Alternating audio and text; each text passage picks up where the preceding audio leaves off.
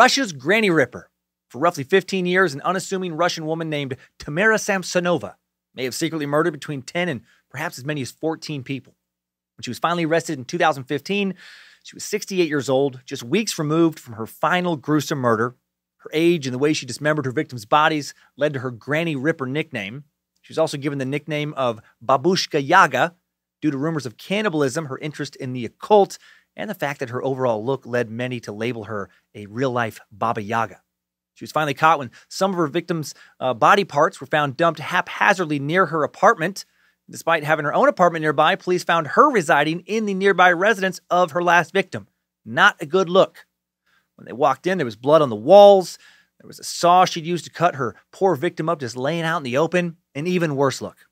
And then, as if the police needed any more evidence of her guilt, investigators obtained uh, CCTV footage of her hauling body parts out of the murdered woman's apartment in bags, including what would turn out to be a head in a covered uh, cooking pot. When Samsonova's story broke into the press, the Russian tabloids went buck wild and started without any real proof claiming that Babushka Yaga ate her victims, uh, that she killed in order to complete dark occult rituals. Many Russians, based on the press her story received, believe that Tamara Samsonova was an actual witch as well. Crazy, right? It is crazy. It's all a, a, very Russian thing to believe as well. Current belief in the occult is very strong in Russia today. Faith healers, witches, sorcerers, yes, sorcerers, currently very much in demand. More so than actual medical doctors. A highly entertaining, a preposterously, gloriously vodka soaked Russian episode waits today on Time Suck. This is Michael McDonald, and you're listening to Time Suck. You're listening to Time Suck.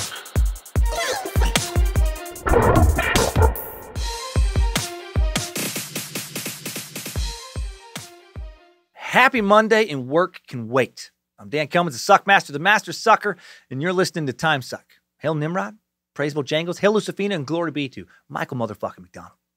I know many of you spacers are wondering how I'm doing health wise. Uh, some of you time suckers who listen to the uh, Secret Suck. I think I said time suckers. I meant time suckers. Well, I recorded this episode early, not long after last week's Secret Suck. Uh, still not feeling uh, that great. Still waiting for my COVID results. Should have them soon. Joe and I are the only ones in the office. If you're curious, we're in separate rooms, doing everything I can to be extra safe and not spread it. Uh, I'm sure by next week's show, uh, before I will have answers about the uh, about the COVID fucking 2020. Uh, good news, I had this Granny Ripper suck prepped before my body felt like someone took a baseball bat to it, and uh, before night sweats kept me from sleeping, before my skin felt like someone rubbed it with light sandpaper. Uh, I do feel plenty good enough to tell this story today. At the moment, I'm hopped up on a Dayquil, fucking uh, Tylenol, about 75 vitamins, and uh, I feel good enough to, to tell this story. My voice feels fine. My chest uh, doesn't feel bad. My lungs feel great. My dick is still uh, three to four feet long, depending on my uh, mood and, and, the lunar cycle. Uh, hail Nimrod, and here we go. Uh, for those of you who didn't make it to the end of last week's Time Sucker updates, excited to say that uh, Bad Magic Productions gave $7,200 to girlsintheknow.org.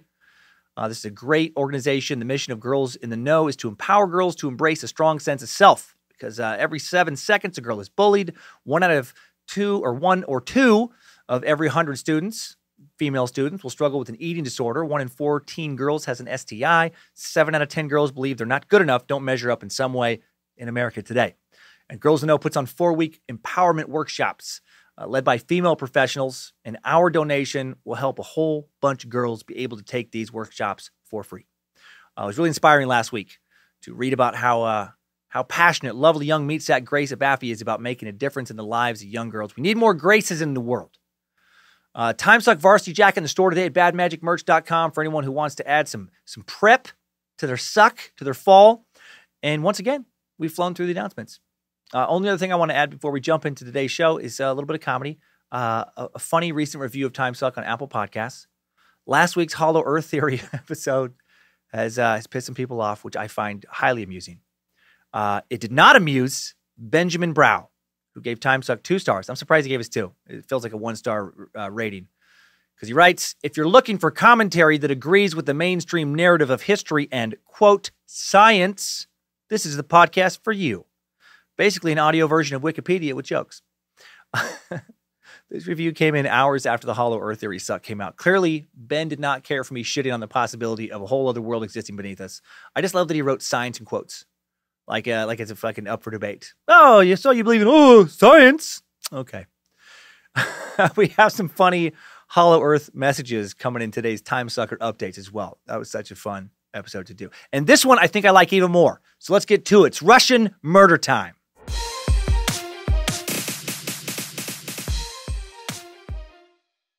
Tamara Samsonova arrested in St. Petersburg in 2015 at the age of 68, now 73. Uh, she'll she'll probably never live free again. The possibility is out there that she could, which is terrifying. Uh, arrested for two murders. She's currently under investigation for 14 murders. We think the numbers are a little fuzzy. Uh, why they're fuzzy will be made clear later on, mostly because uh, Russia. Uh, despite the fact that Tamara Samsonova never had any children, the Western world nicknamed her the Granny Ripper. It's catchy, I get it. Uh, she is who the Space Lizards have chosen for us to suck upon today. Hail to Space Lizards and their dark preferences. In the Russian press, Samsonova uh, has been given several nicknames, uh, including Babushka Yaga, a pun on the supernatural monster of Slavic folklore, Baba Yaga, another solid nickname. Also been called Psycho, less creative, but very apt.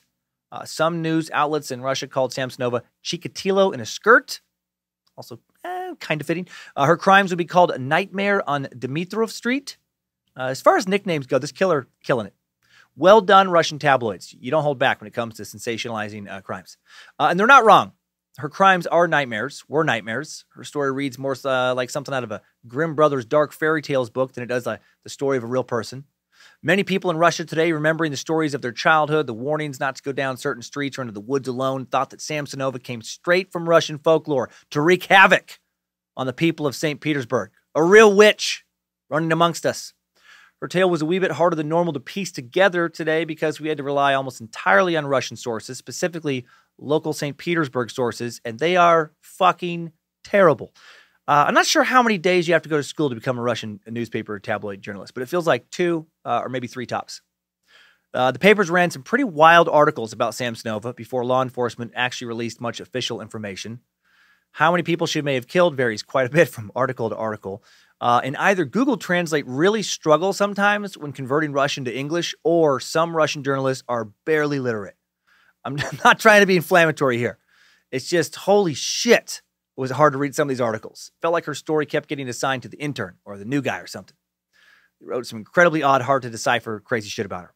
Despite these hindrances, uh, through the various accounts we were able to find, we were able to get more than enough to tell what I think is a very entertaining tale a tale that is so very deliciously Russian in moments. Russia has yet to let me down when it comes to voyeuristic entertainment value, when it comes to the sheer magnitude of what the fuck is happening, just moments. A look into the Granny Ripper will lead us into looking into Russia's long held and current obsession with the occult, black magic, faith healing. And, and man, is this side road going to be worth it? Maybe my favorite part of this suck. Russia is just the just the gift that keeps on giving, keeps delivering some hits. Uh, some highly entertaining Russian wackadoodle beliefs up ahead. So, hail Nimrod and thank you uh, for the Russian entertainment blessings you have bestowed upon us this week. Hail Russia. After a dive into her alleged witchery, we will follow Tamara Samsonova's life and times as best we can. And then, uh, after our timeline, we'll zoom out from her life, take a look at some other granny killers across the world. Women whose crimes were written about by journalists who actually seem to have made it past third grade. Uh, there are more uh, uh, lady killers out there than I thought, and, and more geriatric lady killers than I thought. Might be looking at your Nana in a new light after this suck, a sleep with one eye open kind of light. Just because she has blue hair, Velcro orthopedic shoes, knows her way around some fresh baked cookies, don't think that means she's uh, harmless. Your grandma might have memories of cutting off the heads of her enemies from when she was a younger lass or from yesterday. Hell, your sweet, sweet Nana might have a fresh head in her fridge right now. Maybe that is the secret ingredient she puts in her cookies to make them taste oh so good. The one she keeps telling you with a twinkle in her eyes is a secret when you ask. Maybe it's, maybe it's not sea salt. Maybe it's not some special brand of brown sugar or extra dark chocolate chips. Maybe it's the decapitated head of an acquaintance. Uh, it's been a long time since we sucked on a female serial killer, not since July of 2019, the Belle Gunness suck. Hungy bungy, oofda, oofda. And this is the first time we've sucked on a truly modern female serial killer. Uh, Belle Gunness died over 100 years ago in 1908. The Granny Ripper still alive and a, I was going to say well. She's not, she's not alive and well. She's, she doesn't seem to have ever been well. Doesn't seem to have ever been in the fucking ballpark of well. Uh, while Tamara Samsonova's story did not get much attention here in the United States, I certainly never heard of her before seeing her on the topic list. Uh, her crimes were front page news in Russia back in 2015. Part of what led to her receiving so much sensationalist press was the sheer brutality of her crimes. She didn't just kill, she butchered. Also, the Granny Ripper appears to have, as I touched on, been very interested in the occult. In one murder, some torn pages from her, quote, book of spells was found along with the remains of a victim. Creepy. Then those torn pages were determined to have matched the missing, excuse me, the missing pages of a book found in her apartment exactly. Fairly incriminating.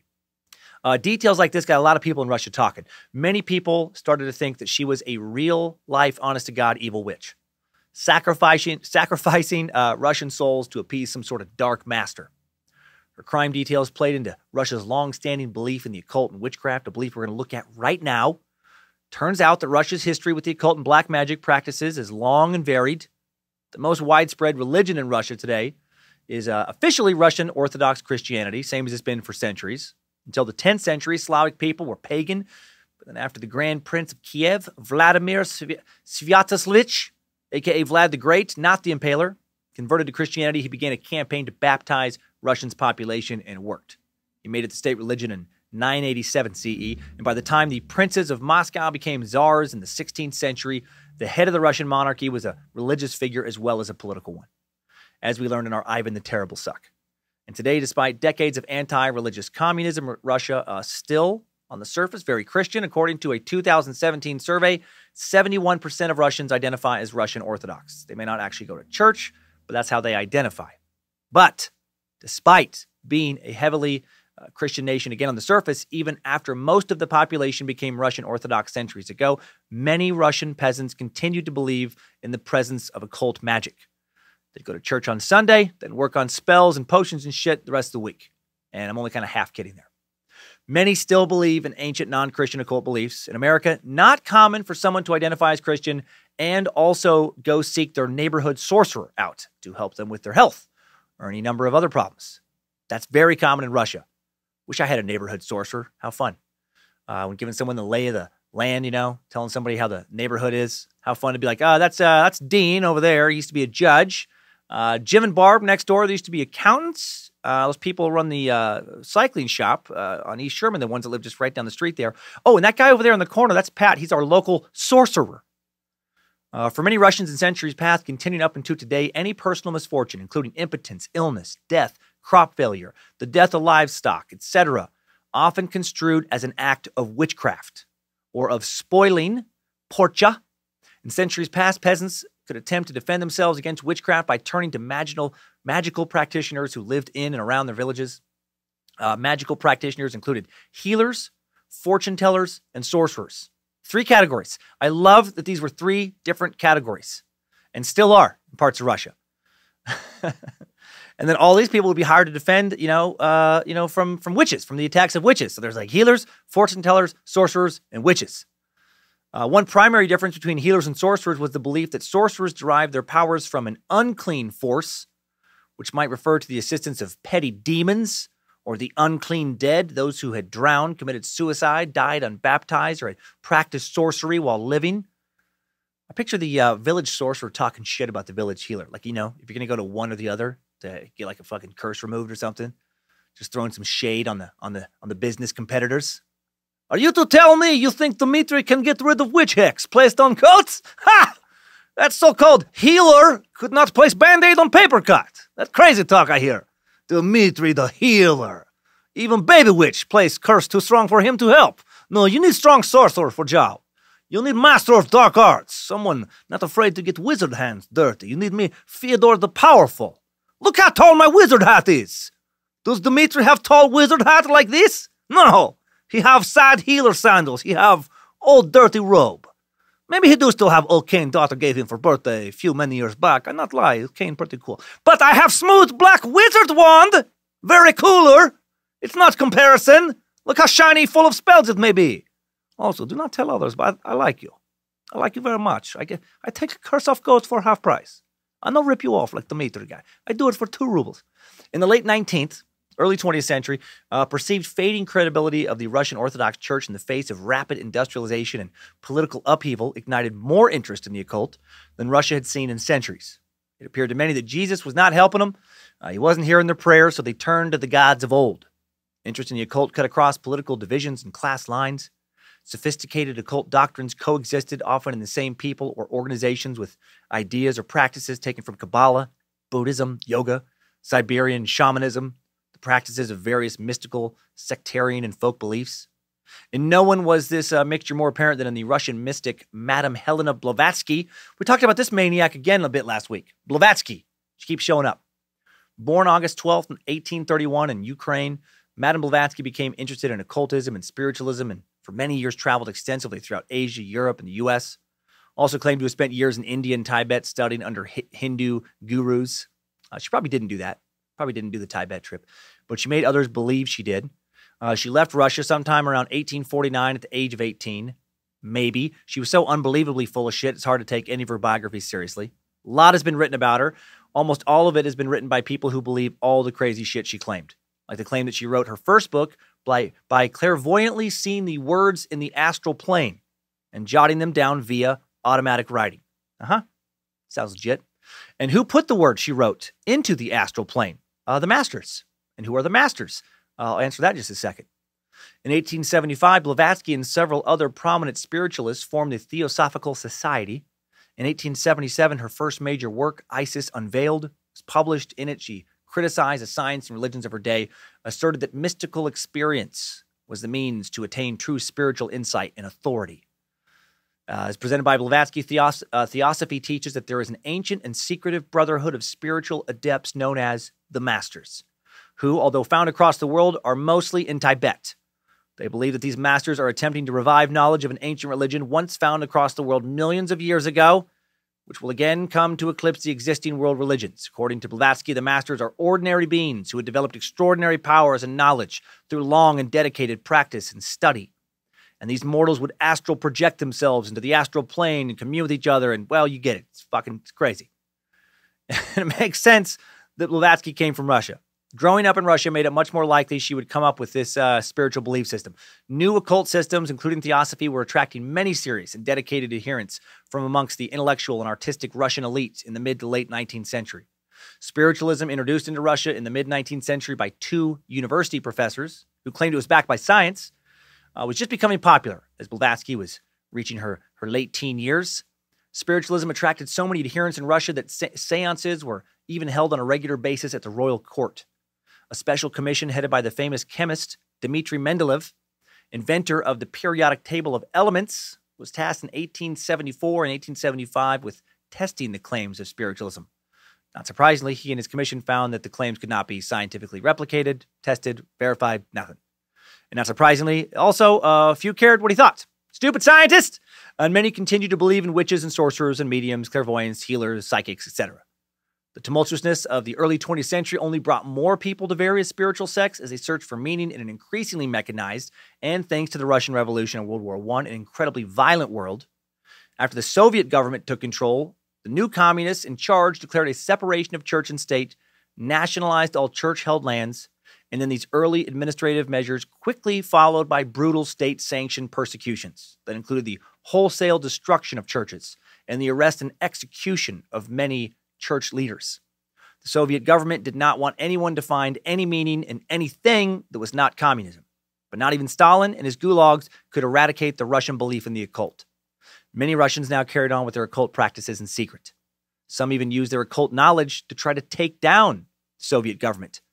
1920, just three years after the Bolsheviks seized power, the Cheka State Security Organization, forerunner to the KGB, was tipped off about a gathering of occultists on the outskirts of Petrograd, now St. Petersburg.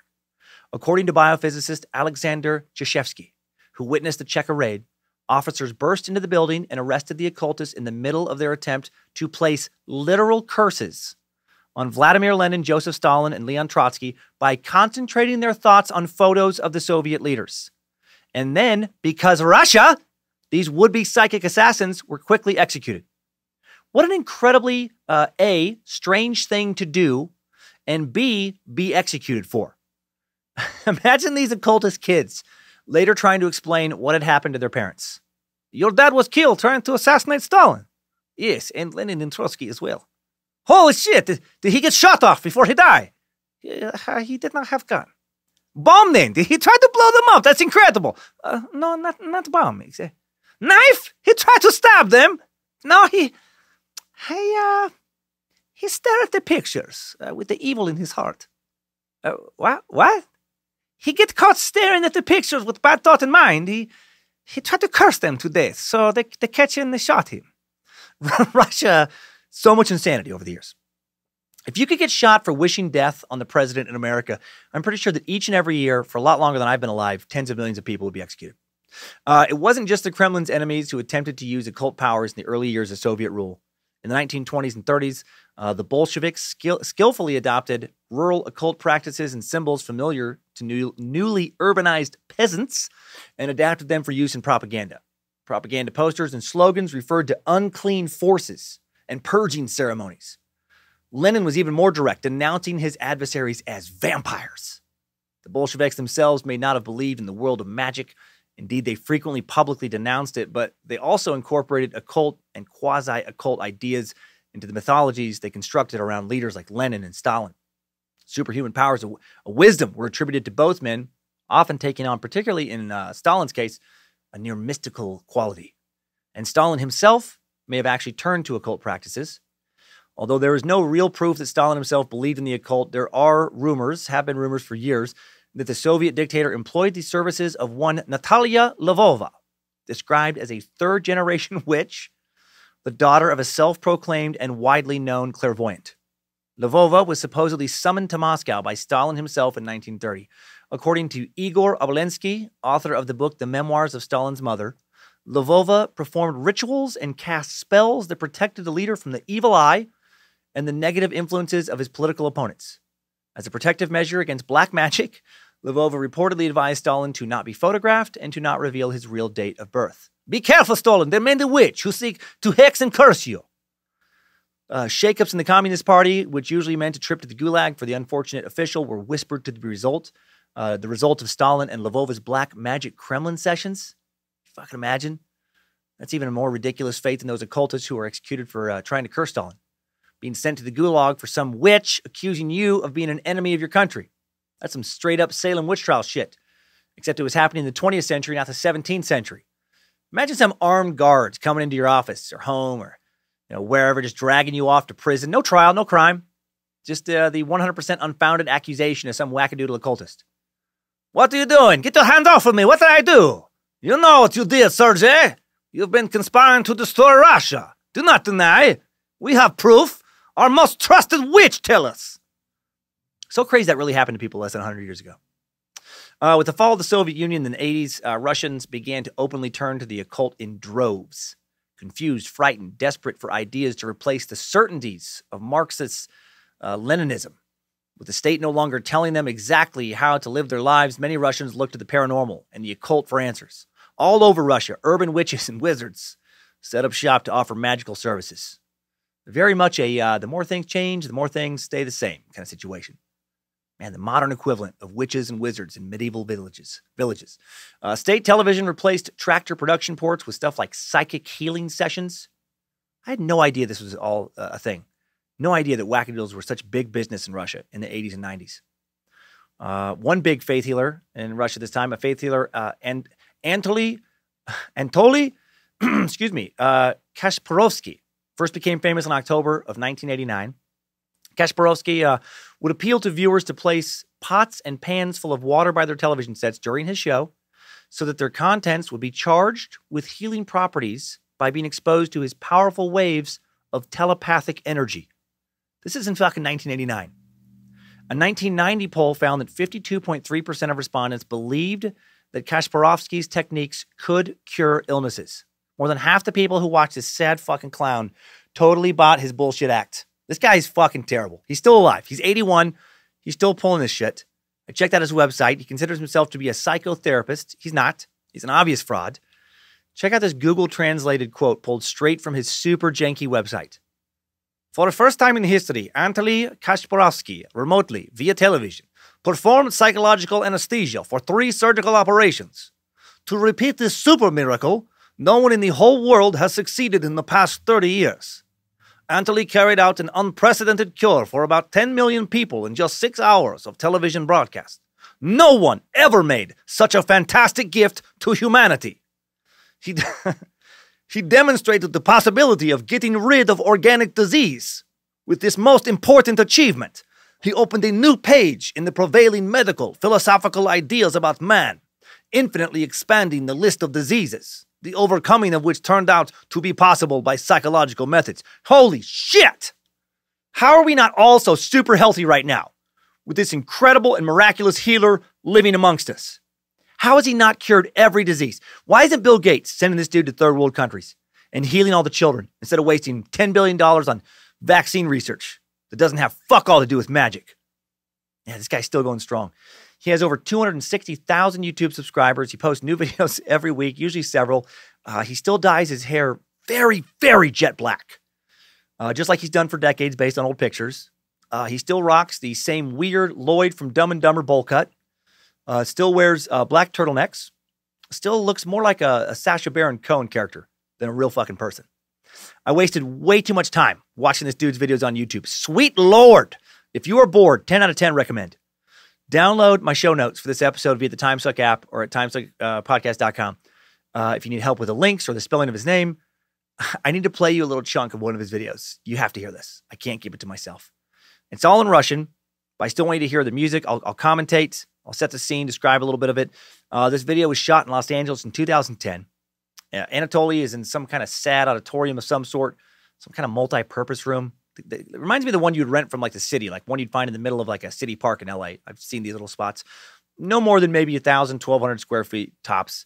Just him, few dudes with camcorders, about 15, 20 people, mostly women, look like they're in their 60s, looking to be healed, I guess. Seems like he's not as well known in uh, America as he is or was in Russia. check this, check this shit out. No idea where the techno music's going for some reason. One by one, these older people walk towards him, and then he makes a little bop motion with his with his microphone, kind of kind of half-assed, not real enthusiastic. And these poor, desperate, being taken advantage of seniors just fall to the ground. One guy so funny to me. He falls so slowly, very carefully lowers himself to the ground after Anatoly hits him with a burst of psychic power. So staged. Uh, it feels like a fucking Borat sketch. It is beyond absurd. oh my god! Here's one of the comments underneath this. It's so absurd. I it, ah, it blows my mind that this is real. Uh, okay, so Google translates uh, this this following comment. Very very uh, typical sentiment for the thread based on other ones I translated. I translated the Google translated. Uh, someone named Sviantyak writes. He worked with mentally ill people in Ukraine. He started to notice improvements on patients with physical conditions too after his treatments. That's how he got into doing healing sessions on TV. Many people got healed in Soviet Union countries by just watching TV, including my relative, whose varicose veins disappear. Whoever says he is connected to Satan never met him, never listened to or understood what he is about. Anatoly is person of future. He's the fucking person of future, guys. Put your fucking heads out of your asses and look at the fucking future. It's Anatoly's there if you'd pay attention. This is insane. Uh, it says he's a psychotherapist, uh, awakening the memory of Norm on a cellular level when person's body comes back to its healthy state as was planned originally by Creator. Okay. He talks about laws of universe according to which everything happening on Earth, and if you learn the laws, you can use them to heal yourself. so much wackadoodle. You just just use the laws of the universe to start healing yourself already. Wake up and stop being sick, you dummy. Why did I? Why am I not doing that? I didn't even need to take a COVID test. I just, I should have just fucking called the doctor, be like, hey, can you connect me to the laws of the universe? And they're like, what? You heard me. All right, Illuminati, stop scamming me. Connect me to the laws of the universe so I can heal myself. please transfer me to Anatoly. What? I, I want to talk to the future. I need to talk to the future. I need to talk to Anatoly. Oh my God. Uh, Russia, you never stop surprising me. Obviously, after having done the Baba Yaga suck, I knew that Russian folklore was a real thing. Uh, that there used to be a lot of different superstitious beliefs, and that some carried over to the present day. Having done the Rasputin suck, I knew there was a history of mysticism in Russia, but for some reason, this still all caught me off guard. I didn't know that in post communist Russia, there was a resurgence of belief in people like faith healers and witches. And for the super killer suck on Alexander Solonik, and now this one, I, I got to say, I think 80s, 90s Russia, it's my favorite Russian era. Uh, Russia's new government even seemed to sanction these strange beliefs in the 90s. President Yeltsin gave the green light to a number of bizarre projects, including one that saw state funds pumped into a scheme to, quote, extract energy from stones. Huh. And these super crazy beliefs persist to this day, and they are very popular. In Russia, at least as recently as 10 years ago, there were more faith healers than professional medical doctors. You heard that right. In 2010, a psychologist with the Russian Academy of Sciences cited World Health Organization data that indicated there were more occult faith healers in Russia, roughly 800,000, than actual doctors, roughly 640,000. Why does this make me feel better about all the lunatics in America? Our nation isn't the only one, full of hundreds of thousands of people with the critical thinking abilities of lemmings. Uh, Russians today spend billions a year on the occult. In 2013, the country's leading cardiologist complained that his fellow citizens spent uh, roughly $26 billion in U.S. money every year on a variety of magical and paranormal services. Here's another stat to show how culturally pervasive all this is. Russia's Academy of Sciences recently estimated that 67% of all Russian women have at one time or another sought help from a quote, psychic or sorcerer. I, I love that they keep saying sorcerer. Uh, the figure for Russian men, one in four. God, every every time that they like I hear a sorcerer in this uh, suck about Russia, I picture like a like a Russian Gandalf, like some dude like an old school Adidas tracksuit, gold medallion necklace, and a Merlin wizard hat. I feel you're powerful. You're wise to seek my service. You have problem with stomach here. I know how to fix. I give you amulet of digestion. Look how nice. It's real amethyst. It's 14 karat gold. You have problem with neighbor? I fix. Bring in picture. I have wife place curse. No problem. She witch. She, my wife is witch. This week we offer buy one curse, get one fire elemental conjure spell for free. It's the best deal in town. It's 10 times good as chump, fake ass healer Dmitry could give. Uh, some think that one of the reasons that many Russians turn to the occult, specifically for health related issues recently, is because that Russia's medical system is uh, notoriously bad. In many parts of the country has been for quite some time. Why risk a dangerous botched operation when you can go to a psychic healer or a fucking sorcerer?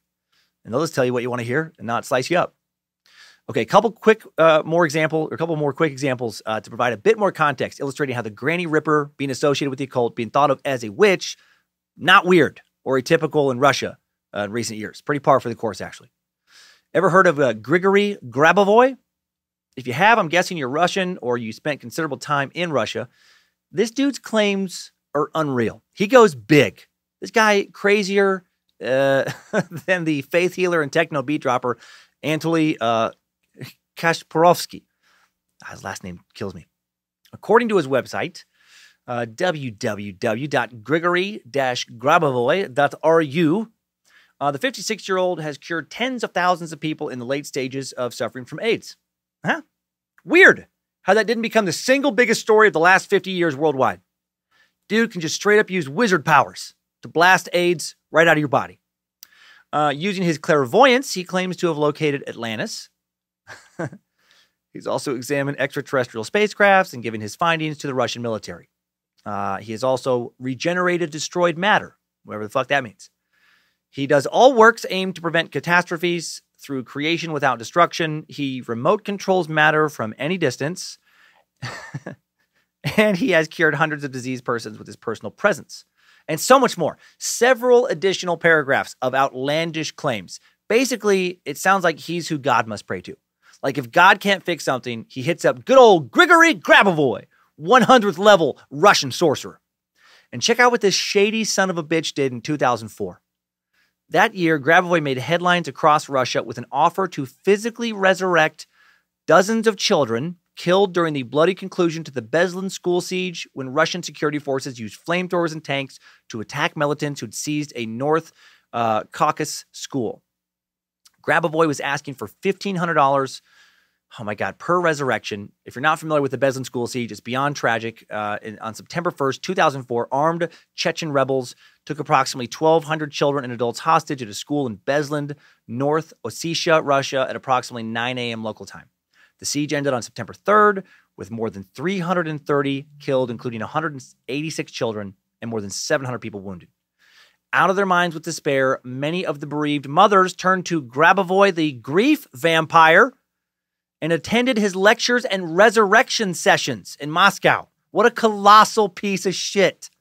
These people just lost their children. Almost 200 kids die in a fucking gunfight. And this guy thinks, this is great. Nadia, how fast can you make new flyers printed? Most fucked up thing of all is that uh, even though he took uh, money for over 80 kids, he only brought 20 of them back from the dead. And look, I realize you could argue how amazing he brought back anyone at all, but I think you're missing the point. You know, it's like he, if he's going to promise to bring all the kids back, then he should have brought all the kids back, and he didn't bring back anyone. You knew that. That was terrible. Big, big on Lucifina. Too soon. I didn't. I don't need your help making repulsive statements. Uh, obviously, none of the kids were brought back. No part of me believes this guy thought he could bring them back. If if he could bring back kids from the dead, why why wasn't he already working? You know, years before this Beslan siege, why wasn't he working at like a kids children's hospital, just hanging out and correcting anything the doctors couldn't fix? Uh, Mr. and Mrs. Uh, Turgenev, uh, sorry to say, we lost your son on operating table, but do not be sad. Grigory Grabovoy, bring him right back. Good as new. You just need to pay him $1,500. I'll be honest. I'm not sure why I work here. Kids should just see Grigory first. Uh, the public was rightfully outraged. This was too much even for fucking wizard happy Russia. Grabovoy was arrested for fraud in 2006, sentenced to 11 years in jail, cut to eight on appeal. While the government arrested this guy for, for insane sorcerer claims, uh, many in the Russian government apparently also were seeking help from the occult uh, and still do. One Russian psychic told a Western journalist in 2015 that government officials come to her on a regular basis to help them make big decisions. They come in the middle of the night, she says, uh, so that no one will see them. I can't name names, of course, but Russian government officials always consult sorcerers before taking major before making major decisions.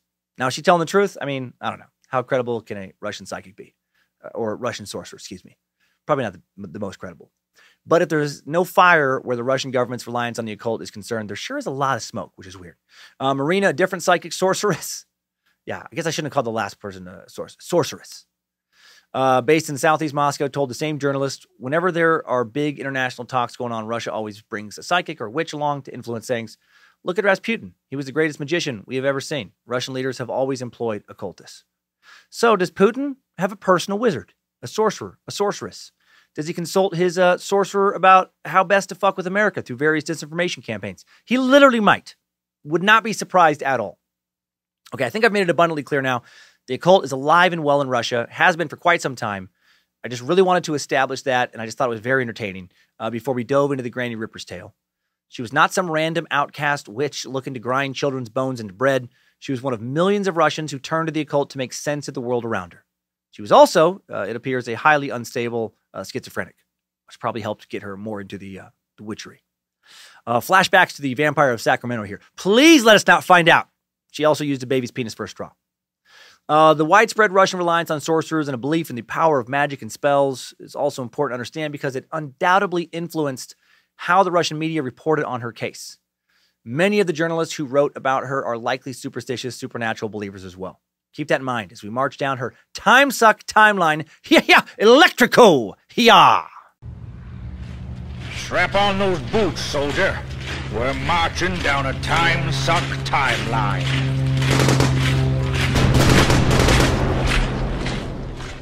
On April 25th, 1947, Tamara Mitrovanova Samsonova was born in the Russian city of Uzhur, now part of the Krasnoyarsk territory, almost 4,500 kilometers, about 2,800 miles from where she would commit her crimes in St. Petersburg. Uh, 1947, not a great year overall for the Soviet Union. Last major famine to hit the USSR began in July of 1946, reaching its peak in February of 47, lasting until August of that year before quickly diminishing in intensity, although there, will, there were still famine deaths in 1948. Uh, between 1946 and 1947, there were a minimum of 115,000 to uh, a maximum of around 300,000 deaths linked to starvation. The Cold War had also officially kicked off in 1946. Winston Churchill warned that an iron curtain was descending to the middle of Europe. Joseph Stalin deepened the estrangement between the U.S. and the Soviet Union when he asserted in 1946 that World War II was an unavoidable and inevitable consequence of capitalist imperialism and implied that a uh, war, such you know, war, similar war, might reoccur, stoking the, the big red fear of World War III. On March 12, 1947, just over a month before uh, Tamara's birth, President Harry Truman delivered a speech before Congress that marked the beginning of the Truman Doctrine, which held that the U.S. could no longer stand by and allow the forcible expansion of Soviet totalitarianism into free independent nations. The Truman Doctrine emphasized that communism would be contained. Secret police, which had been renamed in 1946 to the MGB, the Ministry of State Security, enforced rigid conformity in the satellite states of Eastern Europe and infiltrated and destroyed anti communist, anti Soviet, or independent thinking groups. The intelligent apparatus was able to permeate every level and branch of state administration with agents planted in collective farms, factories, and local governments, as well as throughout the upper level and rank and file of Soviet bureaucracy. Each department within the government also had their own official supervisor, a special section staffed by the MGB to keep tabs on and regulate the employees, ensure the absence of disloyalty. It was a version of Gilead from The Handmaid's Tale. No religion, but the same amount of fear and paranoia and control akin to George Orwell's 1984. Uh, we don't know much about Samsonova's childhood in Uzur. Uh, was founded in 1760, wasn't officially made a town until 1953. Today, it's a small city, just over 16,000 people. Doesn't seem to be a uh, super cool city. Doesn't seem to be a well uh, touristed city. According to TripAdvisor, its top attraction is the Springs of Happiness. Based on pictures, it's a very small mineral spring with a little spigot where you can fill up a water jug. Probably use that magical mineral water for some kind of wizard or sorcerer spell. It's very sad looking, doesn't look that happy, and it's the, literally the only attraction listed in Uzur by TripAdvisor. Uh, we also don't have uh, much information about Samsonova's parents. Her father was apparently a police officer. In one article, we found Samsonova said that her father walked with a weapon, whatever that means, or what kind of weapon he walked with. Uh, what, if, what if it was an axe? My mind went there when I first read that. Just like how interesting and terrifying would that be to see a police officer just carrying a double bladed war axe. Why is that so much scarier to me than a, than a gun? Probably because, like with a gun, you can theoretically you can shoot to wound and not necessarily shoot to kill. I don't I don't think you can do that with a war axe. I'm pretty sure when you're when you're swinging a war axe, you're always slicing to kill. Uh, as for Samsonova's mother, all we could find on her was it was she uh, she worked somewhere in the trade, whatever that means. According to Wikipedia, Uzur's local industry is based on agriculture and dairy farming, so perhaps she uh, worked on a dairy farm out in some other field. Uh, in the later 1960s, after graduating from high school, or excuse me, in the late 1960s, after graduating from high school, Tamara moved to Moscow, enrolled at the Moscow State Linguistic University, the largest and the oldest university in Russia that specializes in linguistics and foreign languages. Here, she studied uh, various foreign languages and became fluent, or at least, you know, somewhat fluent in German and English. After graduating, a few sources say she worked as a foreign language teacher in a kindergarten. This is the first of her oh so many jobs. Her changing jobs killed me. First time I looked through all this. So many good jobs coming up. It gets so very Russian. It's oh, I can't wait. Uh, around 1971, when Samsonova would have been 24, she marries a man named Alexei Leonid uh, Samsonov. This poor son of a bitch. His story is preposterously sad. Uh, isn't much on poor Mr. Samsonov either. They would have no children. He was described in one source, and this will be by far his most flattering description, as a very quiet man who worked at a car repair plant. Uh, according to Samsonova, their relationship was good. She said during, during an interrogation after her capture, I was like a mother to him. He is like a son to me. Huh. So maybe instead of good, uh, she should have said creepy. I don't think Lindsay would like me describing our marriage that way. I love my wife. Uh, we know we have a good relationship. She's like she's like a uh, she's like a daughter to me. Uh, please, dear Meat Sack, please start describing your romantic partners that way to uh, new people you meet. Uh, report back to me on how well it goes.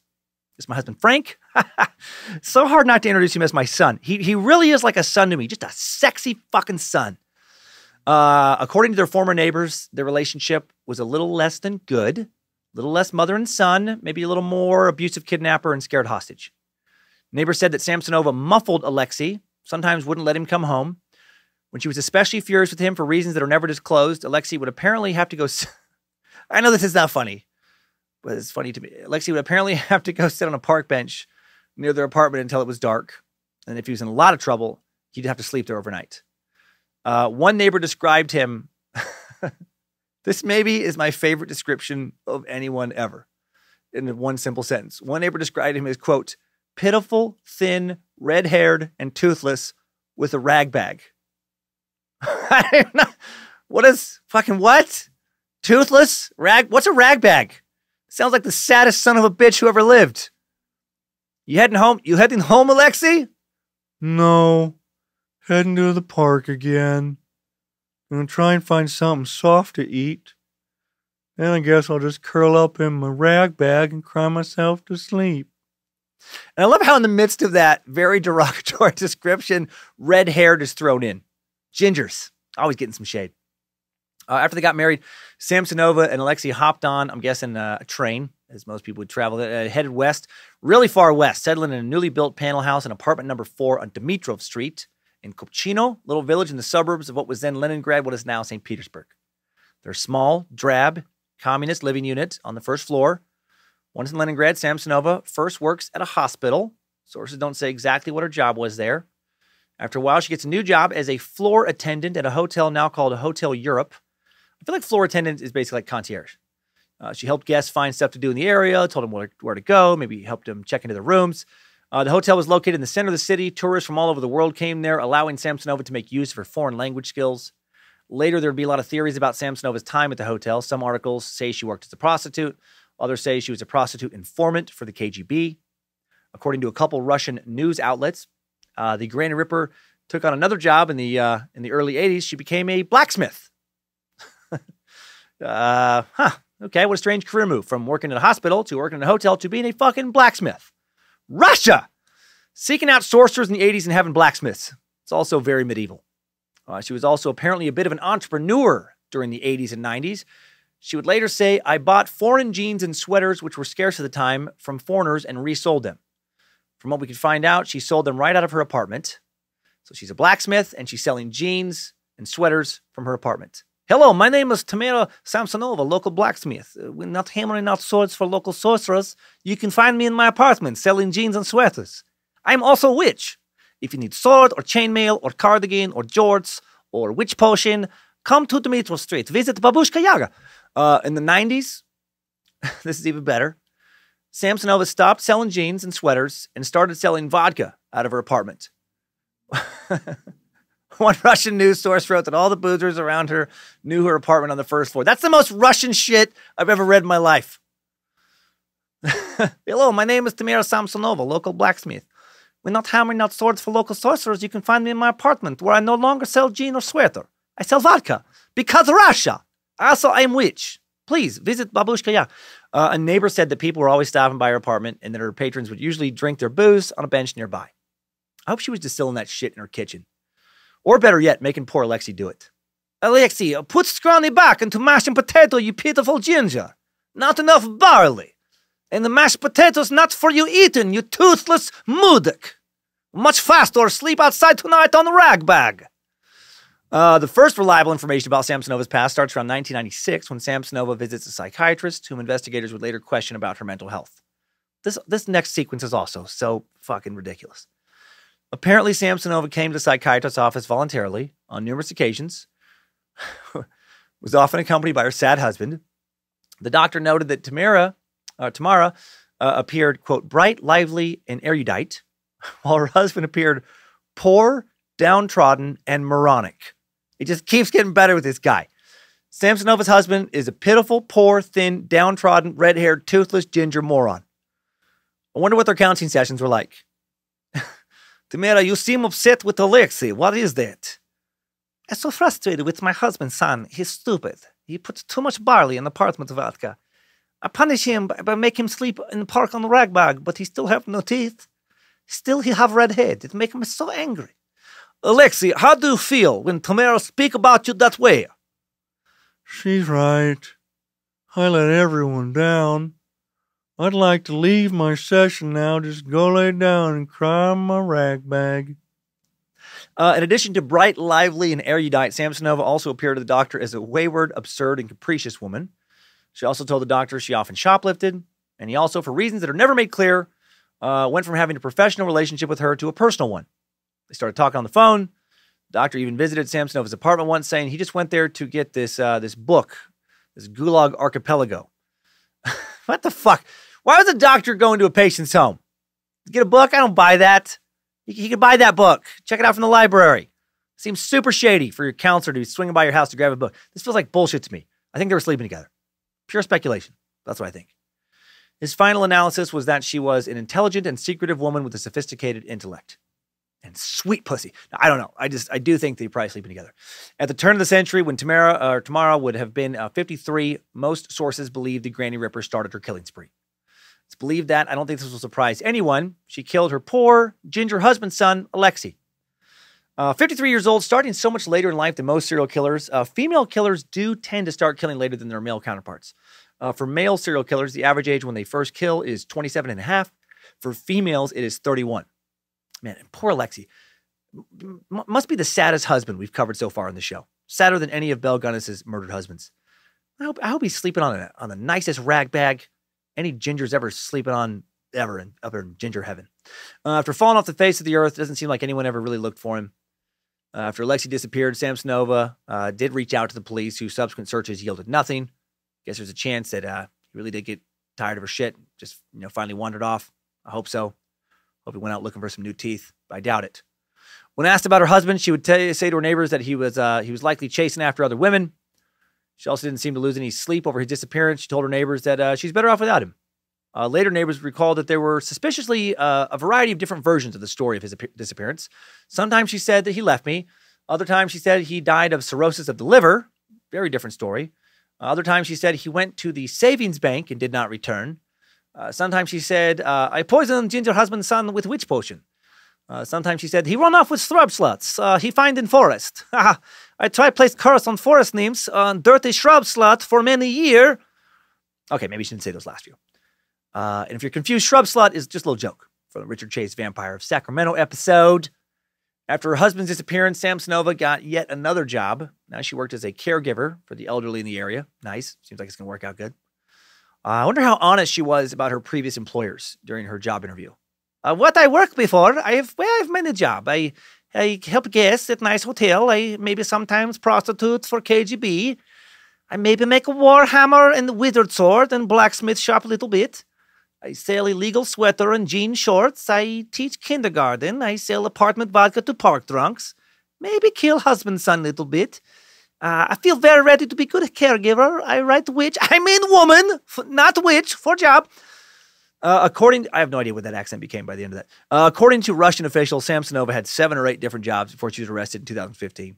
Typically, typically didn't keep any of her jobs for more than three, four years. Uh, she also, in the years leading up to her arrest, began renting out a room in her St. Petersburg apartment to make extra money. Still lived in the same place she'd moved into decades earlier. According to her diary and interviews with neighbors, she'd often, she often didn't like the people who would rent from her and stay with her. She'd get mad at them for using her kitchen and the bathroom and complain that everyone was dirty. Based on her diary, when she wasn't working, she spent a lot of her free time uh, either drinking coffee or uh, or killing people. She was also a super fan of Russia's most notorious serial killer, the first Russian murder we sucked, Andrei Chikatilo. Later, authorities would discover that she collected articles and books about Chikatilo, the prolific killer convicted of killing 52 men, women, and children between 78 and 1990. A little bit disturbing. What is big deal? I have many fans. People that love the Chikatilo. They love the greatest wrestler Russia ever produce. I should have married that witch. We make a great team. Russia power couple. Hashtag couple goals. I hip, I hip to new lingo. I go jerk soft shin cock and corner now. I, I bother no one. You forget I hear. Uh, I'm back now. Old suck character, new listener. Uh, if Samsonova did kill her husband in 2000, it was not the only murder she committed that year. Uh, Samsonova would for sure, it seems, kill one of her tenants, a man named Volodoya, in November of 2000. In her diary, she seems to have made this abundantly clear. She wrote, pretty direct here, I killed my tenant Volodoya. I just love that she fucking wrote that directly. Ah, I think she, I think maybe she did it. Let's look at her diary. I kill him for sure. Uh, no, she wrote, I killed my tenant Volodoya, uh, cut him to pieces in the bathroom with a knife, put the pieces of his body in plastic bags, threw them away in different parts of the Frunzensky district. So, you know, so there you go. Doesn't leave a lot to speculation. Well, it, it may. She, she was mentally ill, and it would come out later that not all of her diary entries were completely truthful, but very suspicious that this dude moves in with her and then quickly disappears. And then, you know, she wrote that. Around this time, a new neighbor, Marina Nikolaevna, and her husband move in next door. Marina would later tell a Russian news outlet, We did not have a landline telephone then. I had to call from neighbors. The first one I knocked on was Tamara Samsonova. We drank coffee in the kitchen and talked. Even then, she was weird. She talked about her husband, that he left and did not return. At the same time, at that moment, Tamara had some kind of joy in her eyes. according to Marina Samsonova, liked to uh, sit topless near her window, and this really pissed Marina off. I know this is a weird turn there. Uh, Marina's husband uh, was a big fan of uh, Samsonova's apparently attractive physique, and uh, Marina often caught him peeping on her. Hard to believe that she was some lust inducing vixen if you look at pictures of her uh, that were taken around the time of her arrest. She literally looks like someone who was just cast as a witch in a local play. No makeup required, already fucking nailing it. Like she looks she looks like a like a straight up witch. She looks like she hasn't used any skincare products on her face fucking ever. And she's just laid out under the hot sun for about 16 hours a day. She looks like she lived on uh, cigarettes and vodka and spiders and eyes of newt or whatever else a witch eats for many years. But if you look further, you can find pictures from her years past, and she was at one point very attractive. I only point this out because if I was familiar with her picture and I heard that, if I, was listening, if I'd only seen a picture, I'd be like, get the fuck out of here. There's no way. Uh, Marina, not surprisingly, not a big fan again of her husband checking out Babushka Yaga. Makes sense. I doubt a lot of wives love that sort of thing. Other than showing off the goods, hail Lucifina, uh, Marina did not have a problem with her. Never heard screams, never heard it sounds she later associated with murder. Uh, man, other than the killing, Samsonova, I gotta say, sounds like a super entertaining neighbor, right? Sometimes she sells vodka, sometimes she sells jeans, and sometimes she whips out her sweet babushka boobs, hangs out by the window. In comparison, my neighbors are fucking boring. I have a couple older ladies living around me, and not one of them, to my knowledge, ever lounges around with their sweet tatas out. They don't sell apartment vodka. Why can't just one time I live somewhere where I can walk next door and buy some homemade vodka from my topless geriatric neighbor? Uh, while never suspecting her neighbor of murder, Marina did, however, make note of her weird neighbor's paranoia. On several occasions, Marina would be having a conversation with Samsonova in Samsonova's apartment, and then Samsonova would interrupt her and run over and look through the peephole. Uh, Marina, Marina also later recalled that she opened the door for me only if I knocked in a special prearranged manner. Again, so much more exciting than any of my neighbors. I'm probably the weirdest neighbor in my neighborhood. Maybe I should take it further. Give give other people stuff to talk about. Maybe I should start lounging around with my dick out. You know, maybe make some homemade vodka myself. Uh, why didn't Samsonova just let anyone in? She told Marina that someone had been constantly sneaking into her house and cutting up her clothes. Once she showed Marina a robe, and Marina immediately recognized there were not any cuts in the robe, just a hole that had formed from regular wear and tear. Uh, according to another neighbor, Tamara's apartment also didn't even have a sofa or a refrigerator. Did I mention she was mentally ill? She was mentally ill. Uh, not criminally insane, perhaps, but a long ways from well. If you think someone is sneaking into your place to cut holes in your clothes, please first get a new lock. Then, if it keeps happening, get a counselor and do what they tell you. Uh, we're all very worried about you. Uh, in the summer of 2001, a man named Vladimir settled in with Tamara. I can never make up my mind. Tamara, tomorrow. Uh, tomorrow, he rented out uh, one of one of her rooms. Despite their almost 20 year age difference, they began a physical relationship. I bet this lady was absolutely fucking buck wild in bed. Am I the only one thinking that? Uh, a month or two later, Vladimir calls off the fling but keeps living in their shared apartment. I can only imagine what being in a romantic relationship with Samsonova must have been like at that point. Man, no wonder he, he had to break off the romantic relationship. Like, if she thinks that someone's been sneaking into her place to cut holes in her clothes, what, is she accusing, like, somebody she's, you know, dating of? Tell truth. You tried to set fire of my pubic hair last night when I sleep. Tell truth. You spend too much time in park. Are you sexing with the shrub sluts? I know about shrub sluts who hide in park bush. Tell truth. Uh, in December of 2001, Vladimir is admitted to the hospital with symptoms of poisoning. The doctors can't establish witch particular drug is causing his problems. Vladimir thinks he knows the source, though. He suspects his roommate, which former lover lady. When he's discharged from the hospital, he immediately moves out of tomorrow's apartment. September 6, 2003, the Granny Killer, Granny Ripper, she's also known as the Granny Killer, uh, seems to have claimed her second victim, maybe her third. Uh, Sergei Potayan was a 44 year old from Norilsk. 44 year old uh, was uh, very unfortunately for him renting Samsonova's empty room. He had tattoos on his shoulder, a skull, a snake, a few other symbols that would make it easy for investigators to later identify his remains. Samsonova would make note of these tattoos in her diary. Apparently, Samsonova didn't enjoy her new roommate's company, and she poured some nitrazepam, a powerful sedative, and uh, omnest, ugh, into his cold borscht and managed to overpower him. Putting poison in some cold borscht, uh, that's almost as Russian as selling apartment vodka. After Sergei was unconscious, she dismembered his corpse and disposed of it on the street. Investigators, based on interviews with Tamara, felt that there was a good chance she started cutting while he was still alive which would seem to be a habit of hers. Jesus Christ. His body, or at least his torso, would be found in an empty lot near Tamara's apartment, and at the time, investigators would have no clue who'd left it there. Along with the body, investigators found some pages ripped from an esoteric book of black magic. Man, a serial killer doing that shit in America, that would get so much press. Oh my God, a whole new satanic panic would kick off. Uh, later in 2003, Samsonova meets another man, Alexander Barshev, uh, Bari- Barishev, uh, while working along Sadovaya Street.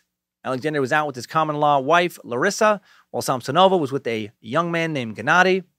The two couples hit it off, kept in touch afterwards, with Samsonova calling Larissa a few times a week, chatting on the phone. Gradually, Larissa's husband Alexander begins to pick up the phone more and more often when Samsonova calls. I'm sure you can see where this is going. Then, out of nowhere, seemingly, Samsonova tells Alexander and Larissa that her young boyfriend Gennady has died. No one seems to knows what. Uh, no one seems to know what happened to him. I'm guessing she killed him, and no one's ever found his body. Guessing it's a hunch. A few months later, in early 2004, Alexander decides it is the season of the witch. About a year after meeting Samsonova, Alexander leaves his wife of seven years and moves into Samsonova's apartment. This lady had game. Things didn't seem to have worked out very well for Alexander in his new digs. Alexander apparently called his wife, Larissa, several times, two or three days after moving in. Then he called her again about a week later, and their conversation was abruptly interrupted. No more details are given. Then he is never heard from or seen again. Years later, when Samsonova is arrested, she first claimed that she did kill Alexander, then later recanted, saying, I was joking. It's, a, it's illegal to make little joke now? Yes, I kill some people, but not him. Ha. Yes, I like to confess, but that's your sense of humor. Uh, partially because his body has never been found. Uh, she's yet to be charged with his murder. In 2011, a study on serial killing women is published by the American Journal of Forensic Psychology, and the conclusions it comes to seem to apply greatly to Samsonova. The study says that as opposed to men, killer women tend to operate more under the radar. Less likely to have a criminal history, they tend to kill those closest to them. Uh, they use quieter methods of elimination like poison, drugs, or smothering. As a result, their killing careers generally last much longer than men, on average between 8 and 11 years, in comparison to two years for male serial killers. Female serial killers have an average of nine victims. Uh, Samsonova fit this typology to a T. Most seem to believe that from 2000 to 2015, Samsonova killed uh, 13 or 14 people. And while neighbors didn't seem to suspect her of murder until 2015, they also uh, didn't seem to really care for her. As she got older, she began to quarrel with neighbors more and more often, even got physical with them when she was upset. Uh, she also was just fucking weird, doing stuff like hanging around naked with the curtains pulled back, uh, walking around barefoot outside, even in the winter. Uh, at one point, a few of her neighbors got together, wrote up a statement that they sent to a psychiatric hospital saying she needed to be treated. And uh, they were able to get her committed for a few months. Then she was back and uh, moved back into her apartment. Uh, let's now fast forward to 2015. We just don't, unfortunately, have details on who uh, she may or may not have killed between 2005 and 2015. Uh, St. Petersburg, big, beautiful Russian port city on the Baltic Sea with a population of just under 5 million. Founded in 1703 by Peter the Great, the imperial capital for two centuries, the hometown of Vladimir Putin, that dirtbag. Gonna have to suck that guy one of these days. Uh, the city's been called St. Petersburg from its founding until the government changed the name to Petrograd in 1914. 1924, the communists had it named Leningrad, and then the original name was restored in 1991. St. Petersburg, uh, Russia's cultural center with more than 70 theaters, over 300 museums, including the State Russian Museum, which showcases Russian art from Orthodox icon paintings to Kandinsky works. It's amongst the oldest museums in the world, as well as one of the largest. 3 million people visit a year. City's famous for its white nights, which peak in number during the southern months. Because St. Petersburg's so far north during the summer, the sun is up until around midnight, rises again around 3 or 4 in the morning. And the city has seen its share of crazy shit over the years because of Russia. Uh, but 2015 would be an exceptionally weird year even for St. Petersburg. The Granny Ripper would dominate newspaper headlines. In March of 2015, Samsonova, just shy of 68 years old now, still working as a caregiver, still living on Dmitrov Street, and she meets 79 year old Valentina Ulanova, who also lived on Dmitrov Street. Ulanova, described by those who knew her as an intelligent and kind woman, always willing to help someone out.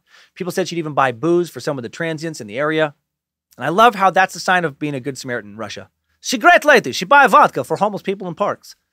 Everything's fucking vodka. Uh, Samsonova's apartment was being renovated, so a mutual friend asked Ulanova if Samsonova could stay with her for a while. And Ul- Ulanova, you know, having no idea this lady was fucking Babushka Yaga, uh, agreed. Two women seemed to have a lot in common. Both had arrived in St. Petersburg in 1973, uh, lived in newly constructed buildings on Dmitrov Street. Both had no kids, Both buried their husbands around the turn of the century. Uh, you know, pretty similar. I mean, sure, one of them, you know, most likely killed her husband. The other husband was probably not murdered, but, you know, guessing Sam- Samsonova probably left those details out when bonding with her new friend. Uh, they both lived alone in almost identical two room old communist apartments in neighboring buildings. Despite their accommodations being almost exactly the same, based on diary entries found later, Samsonova wanted Ulanova's apartment. She thought it was better. She felt better there. She thought it was worth killing over. Samsonova lived in Ulanova's apartment for several months, and then when it came time for Samsonova to move back out, when her apartment was done being renovated, she just straight up refused to leave. In the summer of 2015, poor Ulanova begged Samsonova to get the fuck out of her apartment, but she would not budge. She could not get this lady out of her place. I'm sure she thought she had the roommate from hell, and she did, but of course, uh, Samsonova much worse than Ulanova probably even suspected then.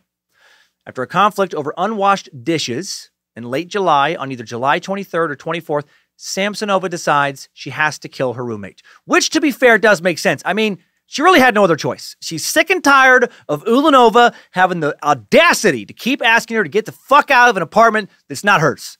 That's no way to treat an unwanted guest. She was sick of being hassled over leaving dirty dishes on the counter of the apartment. She refused to leave. What else is she supposed to do? Uh, Samsonova travels to Pushkin, a town about 36 kilometers, 22 miles away, where she manages to persuade a pharmacist she knows to sell her a prescription drug, phenazepam, without a prescription. Phenazepam, a drug I'm guessing uh, the Granny Ripper pretty familiar with. Uh, used to treat schizophrenia, popular now as a recreational drug, and in high doses, it will knock you the fuck out. It has anesthetic qualities. Upon returning to St. Petersburg, she uh, buys an Olivier salad, one of Ulanova's favorite dishes, basically a Russian potato salad. Later in court, the G Ripper says the murder went down like this. I came home and poured the whole pack of 50 pills into the Olivier salad. She loves them very much. We agreed that it would, I would clean the apartment. I wash everything for an hour and lay down. I get up at 3 o'clock in the morning and she is lying on floor, and I begin to dismember her. Well, there you go. Pretty direct and to the point. She poisoned her roommate's salad, did a little house cleaning, took a nap, woke up, and started cutting her to pieces. All, all in a normal day's work. Uh, she dismembered Ulanova with a saw and some kitchen knives right there on the kitchen floor. She actually borrowed the saw from a neighbor. Wonder how that went down. Excuse me, do you have saw for me to borrow? Uh, something I could use to cut through, uh, how do I say, a couple old lady bones. Uh, authorities are again pretty sure that this poor woman was still alive during the initial cuts. Ugh. First, Samsonova sawed off Ulanova's head. She then took hold of her torso, sawed the body in half. With the knife, she sheared the torso into seven or eight pieces, threw the pieces into bags, removed the head, or I said the head, also removed the hands. Several reports say she put them in a stock pot on the stove and boiled them, the head and the hands. Uh, said later in confession, she did that to prevent identification. Others would think that she boiled her roommate's head and hands not just to destroy evidence, but also because, you know, she ate them. Babushka Yaga. Once her roommate was cut up into pieces and those pieces had been placed in bags, Samsonova took the bags outside of her apartment to dispose of Ulanova's remains. Made several trips to various parts of her neighborhood, stashing a leg here, a torso there, head over yonder. I said most of the bags earlier because Samsonova apparently left some of the parts of the body scattered around the apartment. Then, before she uh, even had time to change her clothes after all this, someone comes to the door and rings the doorbell. Samsonova, covered in blood, looks through the peephole. Uh, it's a social worker on the other side of the door. Samsonova tells the woman that Ulanova has gone out of town to attend a friend's funeral. The woman asks to be let in. Samsonova tells her that she cannot let her in. She says she doesn't have the keys, doesn't have any keys, which makes no fucking sense. But that's what she said. so weird. Sorry, I cannot let you inside. I do not have any keys.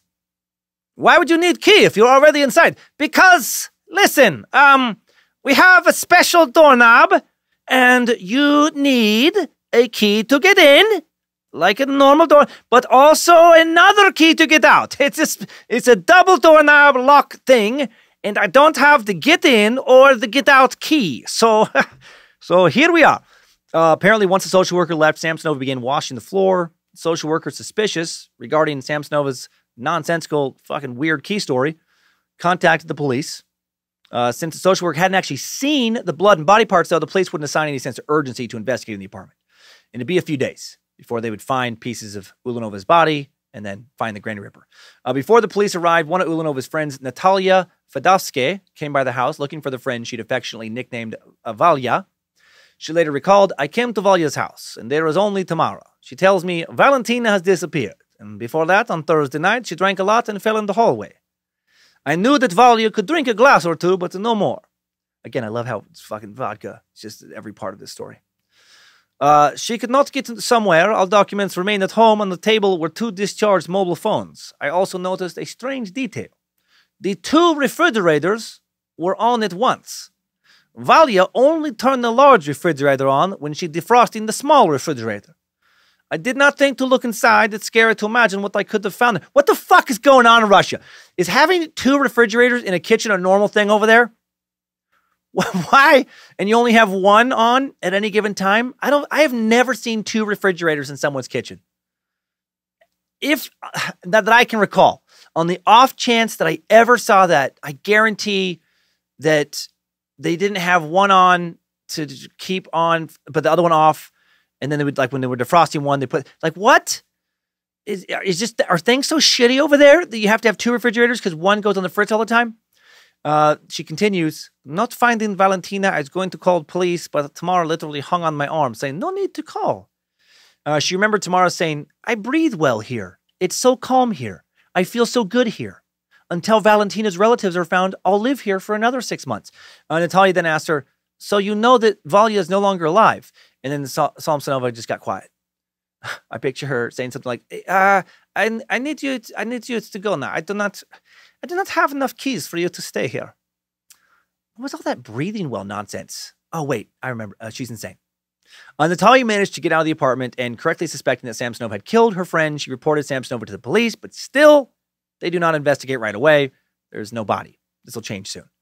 On the evening of Sunday, July 26, 2015, one of Samsonova's neighbors are walking their dog in an empty lot near a pond adjacent to House 10, Building 4 on Dmitrov Street. The lot literally across the road from where Samsonova and Ulanova live, just behind some garages near the river and a railroad track. There, the neighbor's dog takes particularly uh, to take, excuse me, particular interest in some bushes. Uh, the neighbor goes over to look and see what the dog has found in the bushes and discovers one of those fucking shrub sluts. And the neighbor's like, "Get out of here! Gone!" Between the shrub sluts and the park hobos, fucking up on vodka all day, this neighborhood's gone to shit. No. Uh, the neighbor went over there to look at the bush and discovered a chunk of body wrapped in a shower curtain. The head, arms, legs, some internal organs missing. Uh, my God, she didn't do a very thorough job at, at body disposal, did she? Just wrapped up part of her roommate's remains in a shower curtain, walked across the street, and just threw that shit in a bush. After being alerted to the remains, the police went around the neighborhood, quickly found more. They found a plastic bag with leg in it near Building 6. The only thing that could be said with certainty was that the body belonged to an elderly woman. Then, when the police asked uh, some neighbors, talked to some neighbors, several recalled seeing Samsonova carrying bags out of Ulanova's apartment and that Ulanova had not been seen since. The next day, July 27th, the police are able to establish the owner of the missing body parts based on more interviews with neighbors. Then, when they knock on Ulanova's door, Samsonova answers, right? Because she's still staying in the wrong fucking apartment. She explains that she's caring for Ulanova, who almost never leaves the house, and the police insist on entering the apartment, checking on Ulanova, who they know has been killed. The police know damn well she's not taking care of Ulanova. They know she's been cut to pieces. So the police walk in, and they walk into a nightmare. In the bathroom, there's the borrowed bloody hacksaw. There's traces of blood all over the walls. There's organs in the fridge. Almost immediately, Samsonova confesses. She explains, and I'm not making this up, that Valentina Ulanova insulted her terribly. So obviously, she had to be killed. She actually told the police that, as if it was a reasonable excuse for murder. And then, crazier, because Russia, the police do not initially arrest her. They first have to go back to court and talk things over with the judge. In Russia, still to this day, you can legally kill someone over certain specific insults. Like if someone wishes death on your mom or wife or children, you can kill them legally. Or if they insult your character, accuse you of being a liar, an adulterer, you can kill them. Also, if you can prove that someone you're living with is toxic, if you can get others to corroborate that, that they are toxic, you can kill them. One more thing, uh, that's not true. Did anyone believe the stuff I was just saying about how you can legally kill people in Russia for insults? Uh, Russia's so crazy in so many ways. I thought maybe I could sneak that in there. 'cause It might sound legit. No, you can't. You can't kill people legally for insulting you in Russia. Uh, you can probably bribe certain officers into looking the other way when you do kill someone, but you can't just say they insulted you and get away with murder.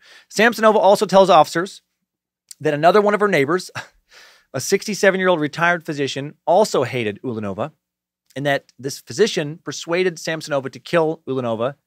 And then she sweetened the deal by promising Samsonova 268,000 rubles for the contract kill, about $3,400.